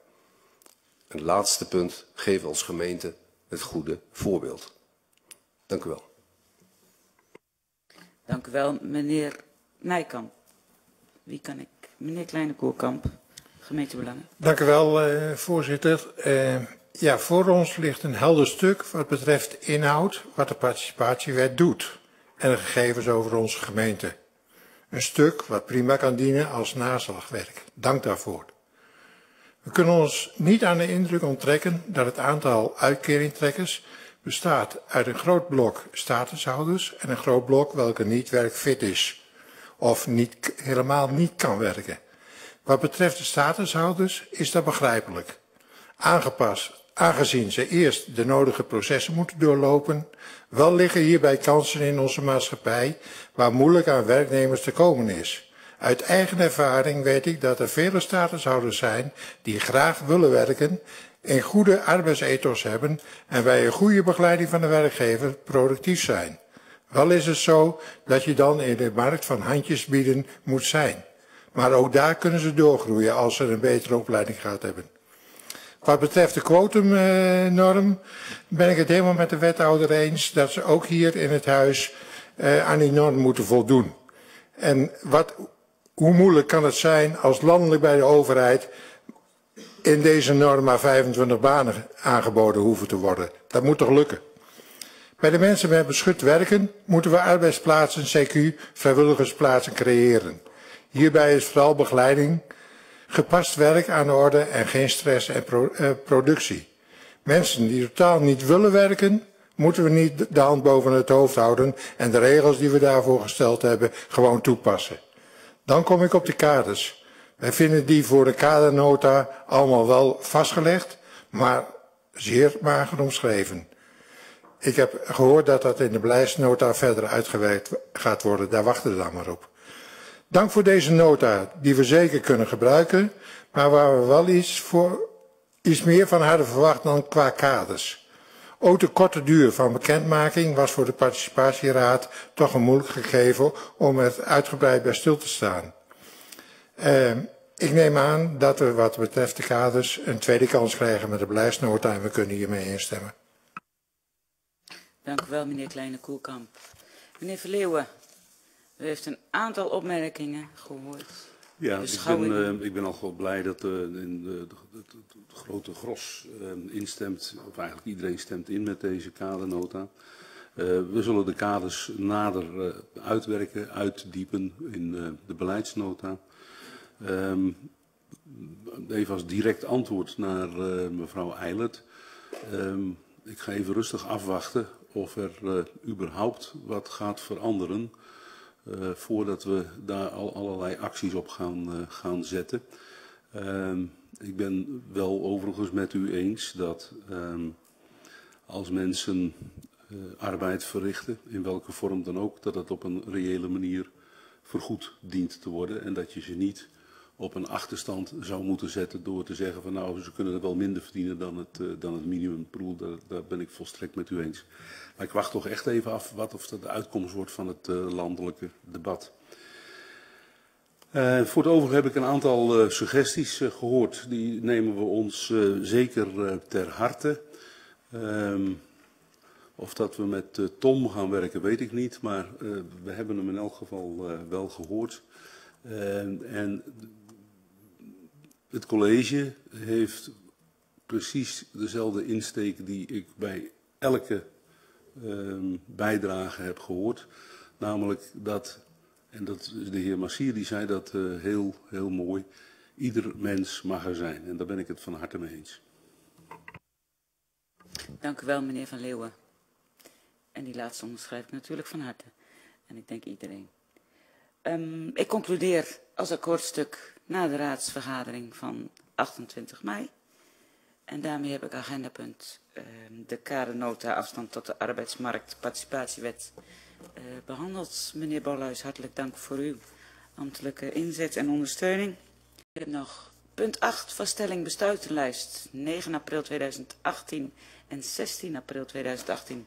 Wie wil daarover of naar aanleiding van? Dan stel ik ze hiermee vast met uw welbevinden. Um, ga ik naar punt 9. Ik heb een heleboel uh, mooie dingen gehoord. Via fietsknooppunten in het landschap Langs dode paden waren we er als de kippen bij, maar slijmerige palingen in een emmer en harde wind.